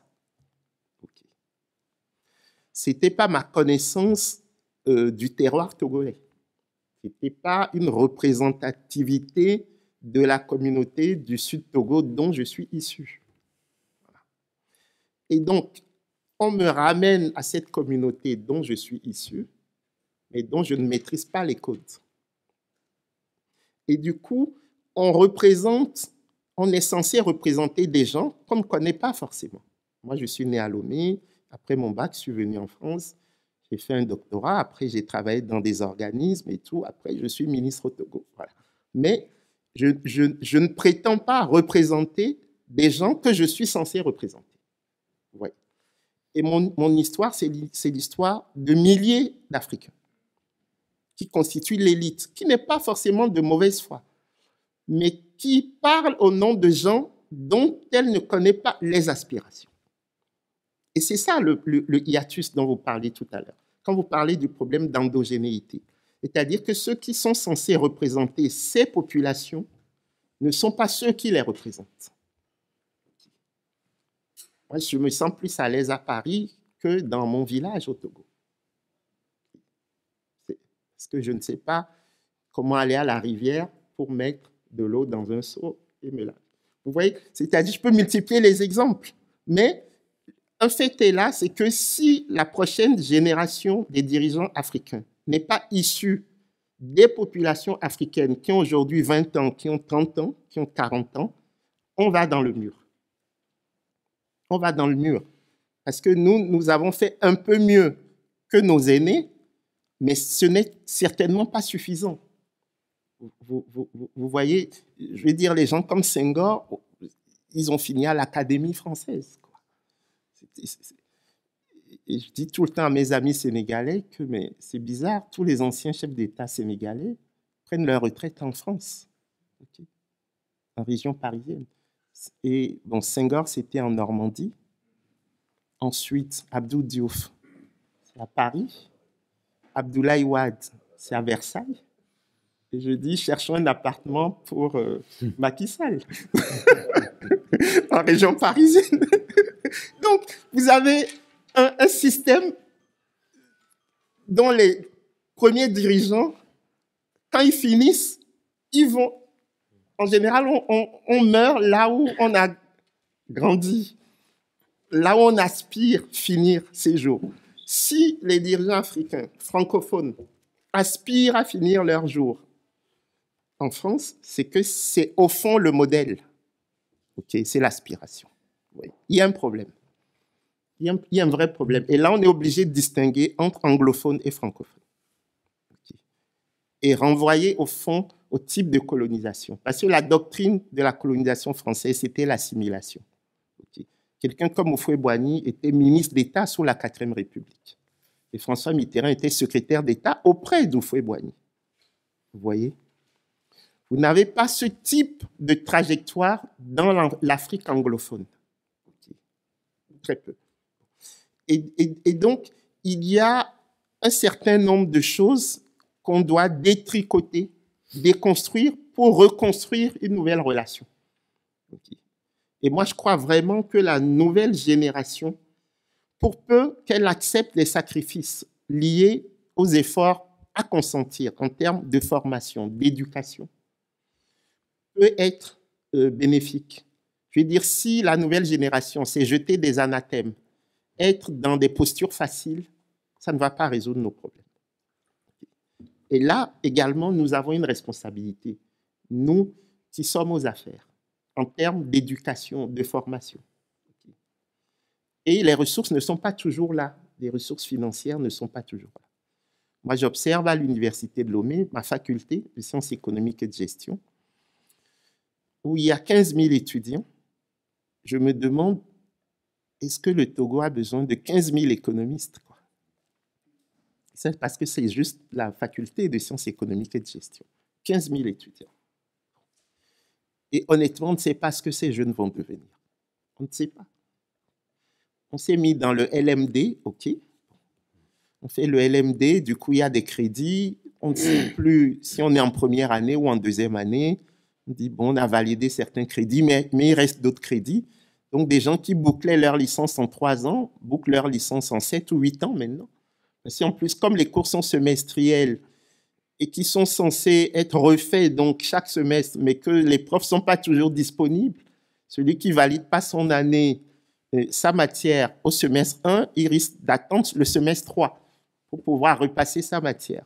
Et puis, les bâtiments ne sont pas extensibles à l'infini.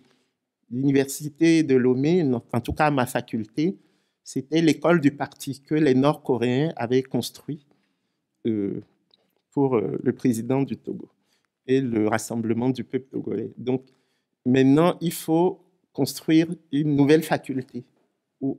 puisque si vous n'avez pas de salle, vous pouvez pas, vous pouvez théoriquement doubler les cours, mais en pratique, vous ne pourrez pas faire deux fois les cours.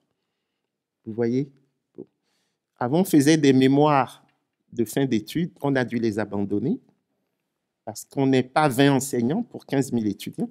Donc le ratio d'encadreur, c'est un enseignant pour 500 étudiants. Et donc ça, c'est des choses qu'on vit au quotidien et qui ne sont pas la faute des jeunes, mais qui provoquent au fond des jeunes diplômés, mais qui pas bien formés, et qui ont des aspirations et des attentes liées à l'intitulé de leur diplôme. Et donc, tout ça engendre beaucoup de frustration, vous comprenez.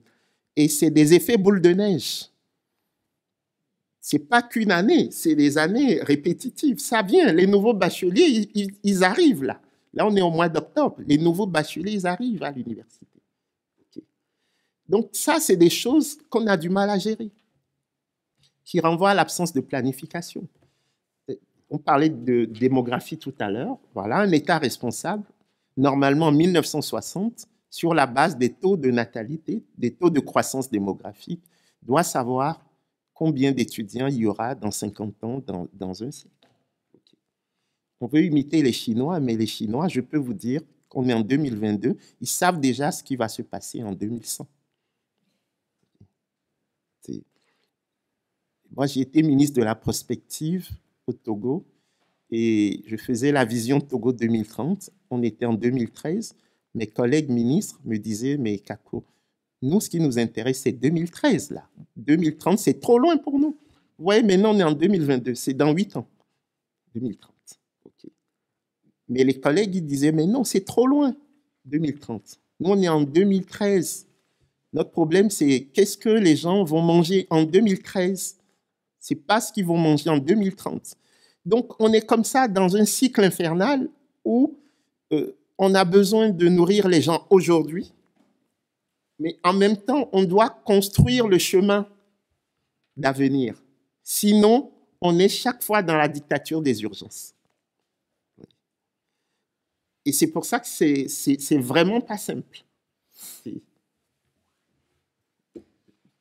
j'ai été un peu long, mais Jean-Paul, je suis d'accord avec vous.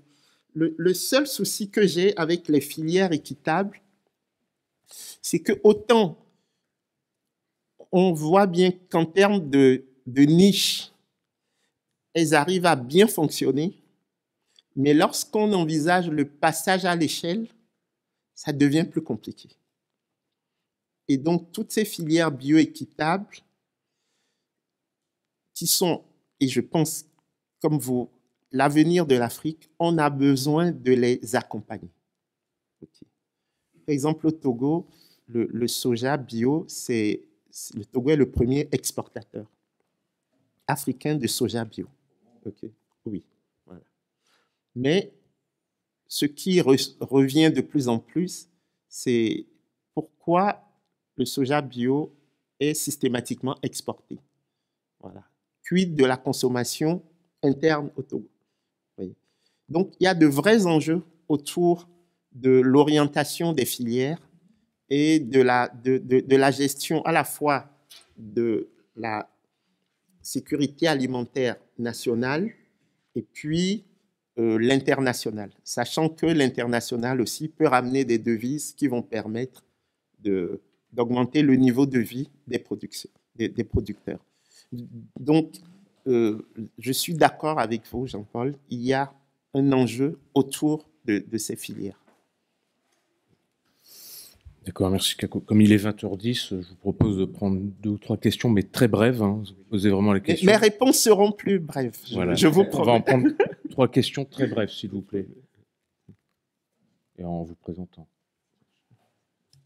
Avec- Ça marche pas. Ça marche pas. Si, si, mais il faut parler fort, je crois, dans le. Enfin, Bonsoir. Bon, de toutes les façons, j'ai jamais été très à l'aise euh, à parler avec un micro. ça marche jamais, c'est pas la première fois que ça m'arrive. Du coup, moi, je suis Marvel Kouka. Je suis euh, membre d'un parti politique qui s'appelle la Convergence citoyenne. Ancien ministre Bonaventure Mbaya. Je suis aussi membre du mouvement euh, citoyen Ras-le-Bol pour la République du Congo. Et donc, du coup, je vais essayer de faire bref sur les questions par rapport à ce, qui se- passe notamment euh, en Afrique de l'Ouest, que vous venez de dire tout à l'heure avec les mouvements contre la France.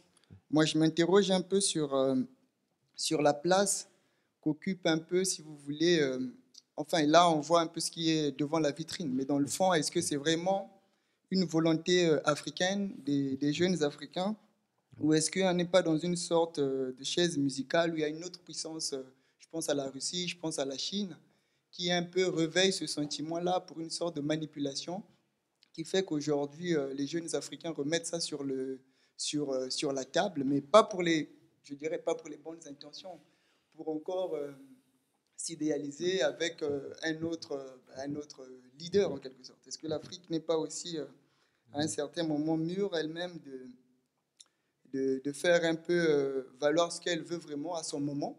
Est-ce que c'est vraiment la volonté africaine? Voilà, c'est ça ma question, pour faire un peu simple. Et Merci. puis, Ah, sur la monnaie, désolé, j'en ai noté un peu beaucoup. sur la monnaie, est-ce que, elle est vraiment simple et très naïve aussi ma question, est-ce que l'Afrique a les moyens de sa monnaie? Et sur le problème euh, de la politique en Afrique, là, j'ai eu pas mal de réponses, notamment sur euh, le modèle un peu que l'Afrique veut avoir euh, sur sa vision de vie. Est-ce que, en termes de propositions, vous, en tant que chercheur, en tant que professeur, est-ce que l'Afrique aujourd'hui a déjà défini en quelque sorte son modèle? C'est bien beau de, d'aller vers la démocratie. Moi, je suis convaincu aussi que ça, que ça nous correspond. Notamment, vous avez parlé de l'arbre à palabre. Au Congo, chez nous, on parle du mbongi. Évidemment, euh, c'est des valeurs euh, bah, que je n'ai pas appris euh, à l'école. hein. Chez nous, tout le monde discute quand il y a un problème. L'aveugle, le sourd, l'orphelin a droit à la parole. Mais est-ce que l'Afrique aujourd'hui réfléchit à un modèle sociétal environnemental, tout ce que vous voulez, propre à lui? Est-ce qu'elle euh, est qu'elle essaie de se projeter vers un modèle qui n'est pas forcément occidental, pas forcément russe, pas forcément chinois, mais est-ce qu'elle est un modèle euh, à, à lui, propre à lui, dans lequel il, elle veut vivre et dans lequel elle se sentirait à l'aise? Voilà. Ça, c'est ma dernière question. Et la toute dernière, Ah. c'est sur l'Afrique de Ouais. demain. C'est la dernière, promis. Euh, moi, je suis heureux que cette conférence se passe ici. Est-ce que vous en tenez aussi en Afrique, euh, à destination justement de ces jeunes euh, qui sont censés euh, diriger euh, demain. Merci beaucoup. Alors, on va en prendre deux, mais s'il vous plaît, vraiment brève.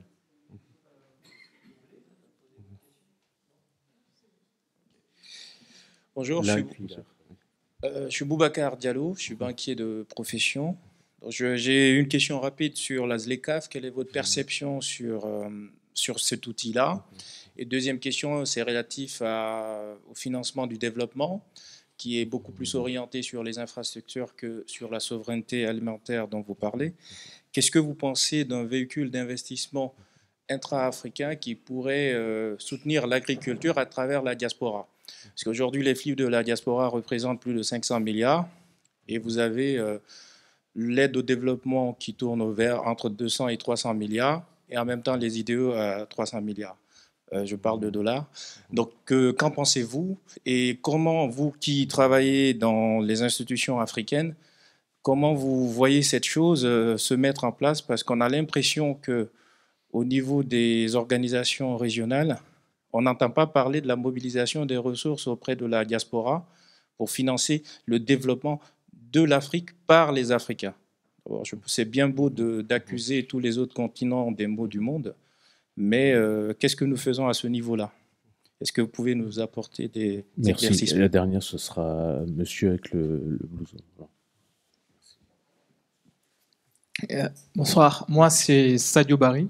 Donc, euh, J'essaie d'assister au maximum des conférences de M. Kako pour apprendre l'économie, comme je ne l'ai pas fait à l'école. Euh, J'ai trois petites questions. La première, elle rejoint la. Petite alors. Ça, Petite, ça va être alors. petite. Elle, elle la question de monsieur qui, qui, qui demande euh, euh, la- qu'est-ce que vous pensez de l'outil euh, la ZLECAF? Euh, Moi, ma, mon, mon interrogation, c'est surtout son lien avec votre livre, Le néoprotectionnisme. Euh, Est-ce que les deux sont, sont compatibles? Euh, Ouvrir un continent de 54 pays à, et, euh, et envisager des, projets de néoprotectionnisme euh, sur le plan économique, ça me semble compliqué. Euh, la deuxième question, c'est sur la question sécuritaire. Quelle est la place de la question sécuritaire, notamment en Afrique de l'Ouest, dans votre livre? Est-ce qu'on peut parler de néoprotectionnisme sécuritaire et dans quel sens? La, dernière question, c'est euh, je, ne sais pas quelle est la place que vous, vous mettez euh, pour la protection des données personnelles, euh, ce qui me semble, on a une population en Afrique qui qui n'a pas un niveau d'études très très élevé au sein des institutions de, l'Union africaine ou de l'Afrique de l'Ouest. Où en est ces, ces questions? Est-ce que vous en parlez dans votre livre? Et c'est quoi vos, vos pistes de, de traitement de ce, de ce sujet Merci. Merci. Oui, tout à fait. Mais- mais- merci, merci beaucoup. Je vais aller vite parce qu'au fond, il y a une vraie convergence entre les, entre les questions, entre les préoccupations. Euh, celle de. C'est c'est Jean-Paul, hein, ou Jean-Claude. Marvel, voilà, du Congo. Voilà, donc celle de, de, de, de Marvel, bon, sur la, sur la, monnaie, est-ce que l'Afrique a les moyens de sa monnaie? Oui, la réponse est oui, bien sûr. De toute façon, dès qu'il y a société, il y a monnaie. Et, du coup, un des enjeux de la recherche africaniste, c'est les monnaies euh, précoloniales. Je trouve que c'est un travail qui doit être fait, qui, a été fait par un certain nombre de chercheurs, mais euh, il y a encore beaucoup de choses à, explorer, à, rechercher. Parce que derrière euh, les monnaies précoloniales, il y a l'idée de retrouver euh, les, philosophies africaines de, la, de la dette, de la finance et, et, et, et- de la monnaie. Donc il y a Josette Rivalon de l'IRD qui a fait beaucoup de travaux il y a Jean-Michel Servet qui a fait énormément de travaux aussi. A un colloque à Dakar le, week-end du 23 octobre, là, autour des travaux de Jean-Michel Servet avec l'université chez Kanta Diop de Dakar. Euh, et, et, et je pense que ça peut redonner confiance aux dirigeants africains. Par exemple, sur la question du CFA, beaucoup de gens me disent, mais est-ce que vous pensez qu'on peut vivre sans le franc CFA. Ça traduit une vraie angoisse. Et je leur dis, mais avant le franc CFA, il y avait des transactions en Afrique. Il y avait des monnaies. Avec ces trois fonctions, intermédiaire d'échange, unité de compte et réserve de valeur. Donc, il y a, il faut jamais l'oublier, dans les conséquences de la colonisation, une perte de confiance dans ses propres capacités. Ça, c'est quelque chose qu'il faut jamais oublier. C'est, ça, c'est vraiment la réussite du fait colonial, c'est dire, vous n'y arriverez pas tout seul. Et nous-mêmes, on reproduit ce modèle sans s'en rendre compte parce que comme on a chaussé les bottes de l'ancien colonisateur, ça a été plus facile pour nous de ne pas remettre en cause les, les hiérarchies établies. Et quand vous lisez euh, Amadou Ampateba dans Amkoulel, l'enfant Peul, il le dit très bien qu'à l'époque coloniale, il y avait cette euh, hiérarchie euh, que les populations avaient faite. Il, y avait quatre catégories de gens. Il y avait les blancs blancs, donc ceux qui étaient vraiment blancs, les colonisateurs, quoi.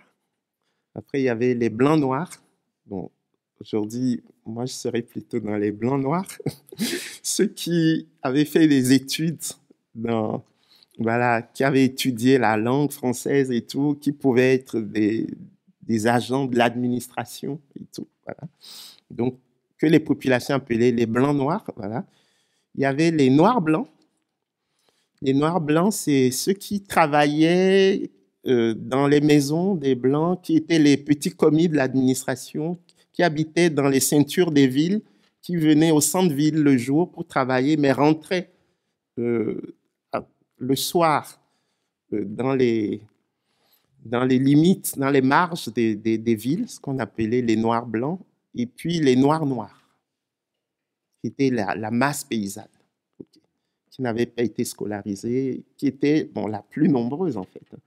Et donc ça, c'est dans Amkoulel, l'enfant Peul, que vous voyez déjà cette catégorisation. Et donc ça, c'est des choses qui datent des années 1900. Okay. Mais est-ce qu'en 2022, les choses ont vraiment changé? Quand on nous présente Dakar et Abidjan comme le nec plus ultra du développement, aujourd'hui, les appartements coûtent plus cher au centre-ville de Dakar qu'à Paris. C'est ça la réalité. Donc, on, les fragmentations n'ont pas beaucoup euh, évolué. Et c'est pour ça que, et je réponds tout de suite à la question sécuritaire, moi j'analyse la question sécuritaire pour une part comme la revanche des campagnes sur les villes, avec énormément de nuances bien sûr, mais quand vous discutez avec un certain nombre de personnes, de paysans, vous voyez que c'est des gens qui ont toujours été délaissés. C'est-à-dire que les États se sont beaucoup intéressés au capital, mais n'ont pas fait beaucoup de développement dans les zones rurales. Il n'y a pas d'hôpitaux, il y a très peu euh, d'écoles, il y a très peu de routes. Et, et, donc, il y a une sorte de revanche sociale. Euh, au Burkina, ce n'est pas rare d'entendre euh, des gens dire oui, mais les Mossi ont eu le monopole du pouvoir. Donc il y a une forme de contestation. Et dans tous nos pays, vous voyez qu'il y a des difficultés de ce, genre. Ça veut dire qu'il y a encore un travail pour la construction de, véritables États-nations. qu'on ne dise pas que tel est Peul, tel est Bambara, tel est Sonrail, en et que ça détermine sa place dans la société, ça détermine son avenir professionnel. C'est- c'est- on s'en sortira pas comme ça. C'est c'est une sorte d'éloge du, métissage. Surtout qu'on a dit qu'il y a quand même des valeurs, euh, qu'il y a des substrats en fait af- af- af- africains. Donc ça renvoie aussi à la question de Marvel sur le modèle sociétal. Bon, j'y contribue modestement dans le cadre de cet ouvrage, hein, mais c'est sûr qu'il il faudrait beaucoup, beaucoup, beaucoup de travaux. Et ça permet aussi de répondre à la question euh, politique. C'est que le monde est arrivé avec le temps ce qu'on appelait la division du travail. En fait, c'est ça. Euh, je, donne, l'exemple de, mon, travail de, commissaire UMOA et je compare un commissaire européen qui est à Bruxelles. Euh, moi, j'ai trois personnes dans mon cabinet. ok. J'ai une directrice de cabinet, une conseillère technique, un chargé de mission. ok. Et j'ai le département de l'agriculture, des ressources en eau et de l'environnement. ok. De huit États, donc à peu près euh, 200, 250 millions d'habitants. ok. Mais pour chacun des États, la question agricole, comme Pierre l'a dit tout à l'heure, c'est une question qui peut nous prendre toute l'année, tous les jours de l'année. Pour le même poste, un commissaire européen a 60 collaborateurs. 60 collaborateurs. C'est-à-dire que la disproportion des moyens et des compétences est telle qu'il est difficile de prétendre à une forme euh, d'équilibre dans les rapports. C'est- si nous qui avons été formés, nous nous retrouvons tous à faire de la politique, qui va faire la recherche? Qui va créer les think tanks? Qui va donner des cours aux enfants? Vous voyez, c'est, c'est-à-dire que tout est urgent en Afrique. C'est ça le truc. Tout est urgent en Afrique.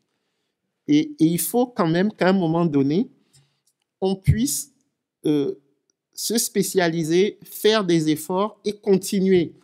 C'est-à-dire que il, doit ça ne doit pas être obligatoire que quelqu'un, parce qu'il a réussi dans un domaine, se retrouve en politique. Oui, c'est, et, c'est, hyper important. C'est, euh, ce que je, ne dis pas qu'il ne faille pas le, le faire. Ce n'est pas une question de principe. C'est simplement dire qu'on a besoin de tout le monde pour construire une société. Voilà. De l'agriculteur, du forgeron, du charpentier. On a besoin de tout le monde. Et il faut, pour le coup, que les intellectuels aident les politiques à se projeter et à servir de vigie pour le, la recherche de l'intérêt général, du bien commun. Ça, je pense que c'est important qu'on travaille sur ça et qu'il y ait une coalition de bonne volonté. C'est pour ça que j'aime bien l'idée des coalitions des sociétés civiles et même des chefs d'État, c'est-à-dire que plus il y a de circulation d'idées, de personnes, plus il y a d'espace de débat, euh, et plus nous avançons collectivement. Et il y a un certain nombre de gens qui disent aujourd'hui euh, ce qu'on peut qualifier de divergence entre la France et l'Afrique est aussi lié au fait qu'il y a de moins en moins de partage. Les gens se connaissent moins avec les générations. euh, et c'est vrai que moi qui suis chercheur au CIRAD, à la base, les, chercheurs du CIRAD, c'est le terrain. Avec les questions sécuritaires, aujourd'hui, vous n'avez plus de chercheurs du CIRAD euh, qui va sur le terrain. Nous-mêmes, à la commission du EMOA, nous avons interdiction formelle de sortir de la ville de Ouagadougou. Ah oui, c'est à ce point. C'est à ce point. Je veux dire, c'est... Et ce week-end, il y a encore eu 11 morts au Burkina. C'est tous les jours que, que les gens meurent. Donc, c'est, on, vit, on vit des moments dramatiques. En tout cas, pour l'Afrique de l'Ouest, on vit des moments extraordinairement dramatiques. Et je pense que même nos premiers responsables sont désemparés. Parce que c'est compliqué. J'accélère sur la ZLECAF, la zone de libre-échange continentale africaine. Le principe est bon. Comme je dis toujours, essayer d'avoir une zone de libre-échange au niveau du continent renvoie historiquement à l'idée du panafricanisme. Et donc, je, pense que c'est une très bonne chose. Maintenant, la difficulté qu'on a, et vous l'avez souligné tout à l'heure, c'est qu'il y a une disproportion entre les nations. C'est-à-dire, vous ne pouvez pas mettre dans le même marché l'Égypte et la Gambie, le Maroc et le Burundi. Donc, il faut qu'il y ait beaucoup de solidarité pour qu'il y ait du renforcement de capacité des, pays les moins dotés en capital humain et de sorte que on puisse avoir ce que j'appelle le juste échange.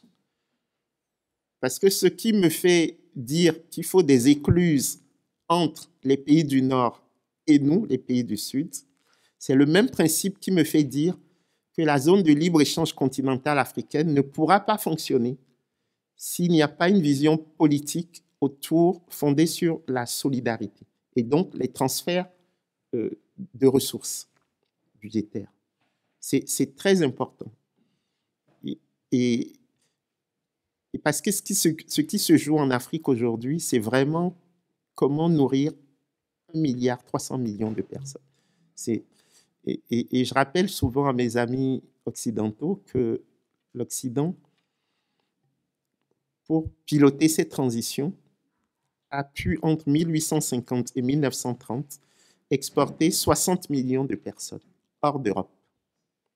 Il faut jamais l'oublier que la, gestion des transitions, euh, la révolution agricole versus révolution industrielle, révolution des services, a quand même nécessité euh, un transfert massif de, personnes vers l'Australie, la Nouvelle-Zélande, l'Algérie, l'Afrique du Sud, les Amériques, parce que l'Europe était seule au monde, quasiment.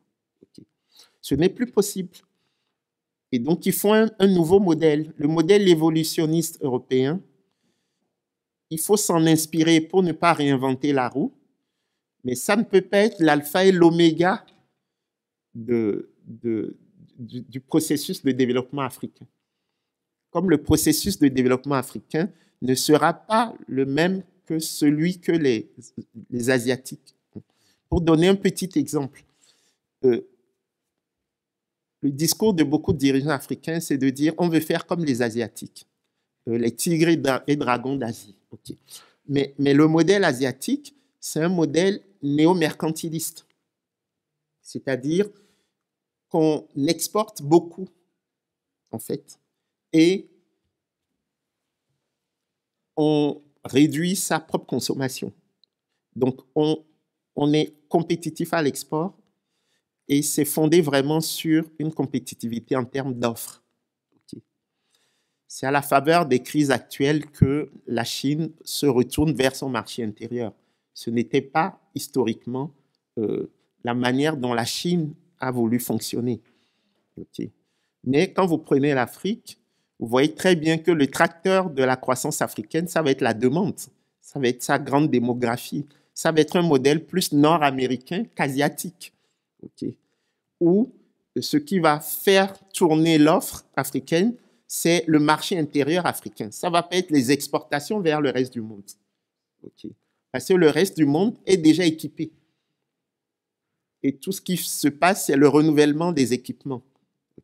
Donc le continent qui n'est pas encore équipé, c'est l'Afrique. Et donc le tracteur de la croissance africaine, me semble-t-il, ça va être la demande et pas l'offre. Ce qui fait qu'il me semble euh, pas tout à fait exact de prendre l'Asie comme modèle de développement de l'Afrique. Bon, c'est juste pour, pour insister sur l'importance de la contextualisation et des nuances. Et, par rapport à ça, Boubacar Diallo, vous avez parfaitement raison. il faut absolument que ces ressources des diasporas puissent entrer dans le, le- le cycle productif. C'est- vraiment important. Dans, l'ouvrage, je propose la création d'une agence ouest-africaine de la dette, mais qui pourrait être une agence africaine de la dette, hein, qui pourrait justement récupérer un certain nombre de ressources et prendre de la dette, mais une dette perpétuelle, c'est-à-dire qu'on ne va pas rembourser le capital, mais on va, rembourser les intérêts. ok? Et cette dette perpétuelle permettrait de financer les infrastructures. ok? Et, et même de donner de l'argent aux États, mais sur la base de la qualité de signature des États. ok? Et comme en même temps, vous avez vu que le Cercle des économistes a proposé au président Macky Sall, en tant que président de l'Union africaine, la création d'une agence africaine de notation. Moi, je fais déjà le lien entre cette agence africaine de notation et l'agence africaine de la dette, puisque ça va nous permettre les différences de taux d'intérêt appli- appliquées aux emprunts. euh, ces différences vont nous provenir de l'agence de notation. Et donc, il y a quand même des choses qu'on peut, peut euh, envisager avec les ressources dont, dont- vous parlez. C'est comme les droits de tirage spéciaux euh, du FMI qu'on nous promet depuis avril 2020. ok? On n'a pas encore reçu un seul dollar, un seul euro. Là, on est en octobre, fin octobre 2022. On n'a rien reçu. Donc, le reste du monde nous fait des promesses qu'il ne tient pas. Et c'est pour ça que je dis, comptons sur nos propres forces. Parce que ces DTS, on ne les voit toujours pas. C'est... Bon, je finis. Je finis. Mon souci, c'est que plus ça avance, plus je me réveille. Donc, c'est embêtant, ça. c'est embêtant. Donc, euh, voilà, sur la protection des données personnelles, après, je vous enverrai vers euh, Madame qui, est dans, qui, est dans, cette salle, Aram Diao, qui est une ancienne collègue de l'Organisation internationale de la francophonie, qui était spécialiste du numérique là-bas. Mais, c'est sûr que sur la question de la souveraineté numérique, on a exactement les mêmes soucis que les enjeux de souveraineté physique. Oui, oui, c'est important. Pour l'instant, ce qu'on a vu, c'est que la Suisse semble avoir le meilleur système de protection de données personnelles. Bon. Mais il, faut creuser ça. Il faut creuser ça. Euh, mais c'est une question qui est, qui, qui est, qui est fondamentale. Je crois que j'ai répondu à toutes les questions. Euh, je ne suis pas revenu in extenso sur la question sécuritaire en Afrique de l'Ouest. Mais ce que je peux dire simplement pour finir, c'est que l'Afrique de l'Ouest vit une addition de cinq crises. Et, ça crée une situation euh, vraiment inquiétante. On a évidemment la crise sécuritaire, n'oubliez pas la crise climatique, qui fait que les populations ont tendance à aller vers les forêts humides et les mangroves. Mais comme en même temps on a l'érosion côtière qui oblige les populations à migrer vers le nord, les populations se retrouvent en étau. Donc il faut gérer euh, la question de l'espace.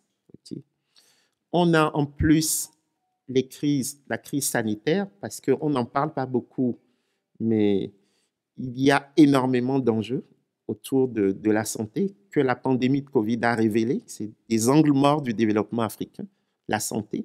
La jeunesse de la population a permis une forme de résilience. Il y a de vrais enjeux autour de la crise sanitaire et de ses avatars. Quatrième crise, c'est les crises politiques. Parce qu'on a, euh, à l'heure actuelle, énormément de coups d'État. En Guinée, Conakry, au Mali, au Burkina Faso. On craint pour d'autres pays. Et cinquième et dernière crise, c'est la crise de l'énergie euh, issue de la crise russo-ukrainienne, euh, énergie qui se transforme pour nous en engrais. Il faut savoir que pour un engrais comme la potasse, en un an, les prix ont été multipliés par 4. On était à 200 dollars la tonne il y a un an. Aujourd'hui, on est à 840 dollars la tonne. Et pour cette campagne agricole, nous n'avons eu que 40% des intrants agricoles que nous avons d'habitude. Et, et donc, on craint une réduction de l'offre agricole avec les conséquences que vous imaginez dans le monde rural. Et au niveau du monde urbain et au niveau de l'importation des céréales, il y a une flambée des, prix des céréales qui fait aussi qu'on a ce taux d'inflation qui est très élevé dans tous nos pays. Donc, il y a, il y a moi en tout cas, je trouve qu'il y a une inquiétude légitime à avoir pour le court terme pour, pour les pays africains. Ce qui ne devrait pas nous empêcher, au contraire, d'imaginer des solutions pour le moyen et long terme. Je crois que je vais m'arrêter là. Pour, euh, Merci beaucoup. Un grand merci, Kako.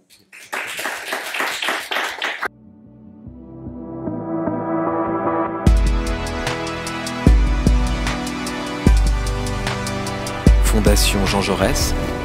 Pensez pour agir.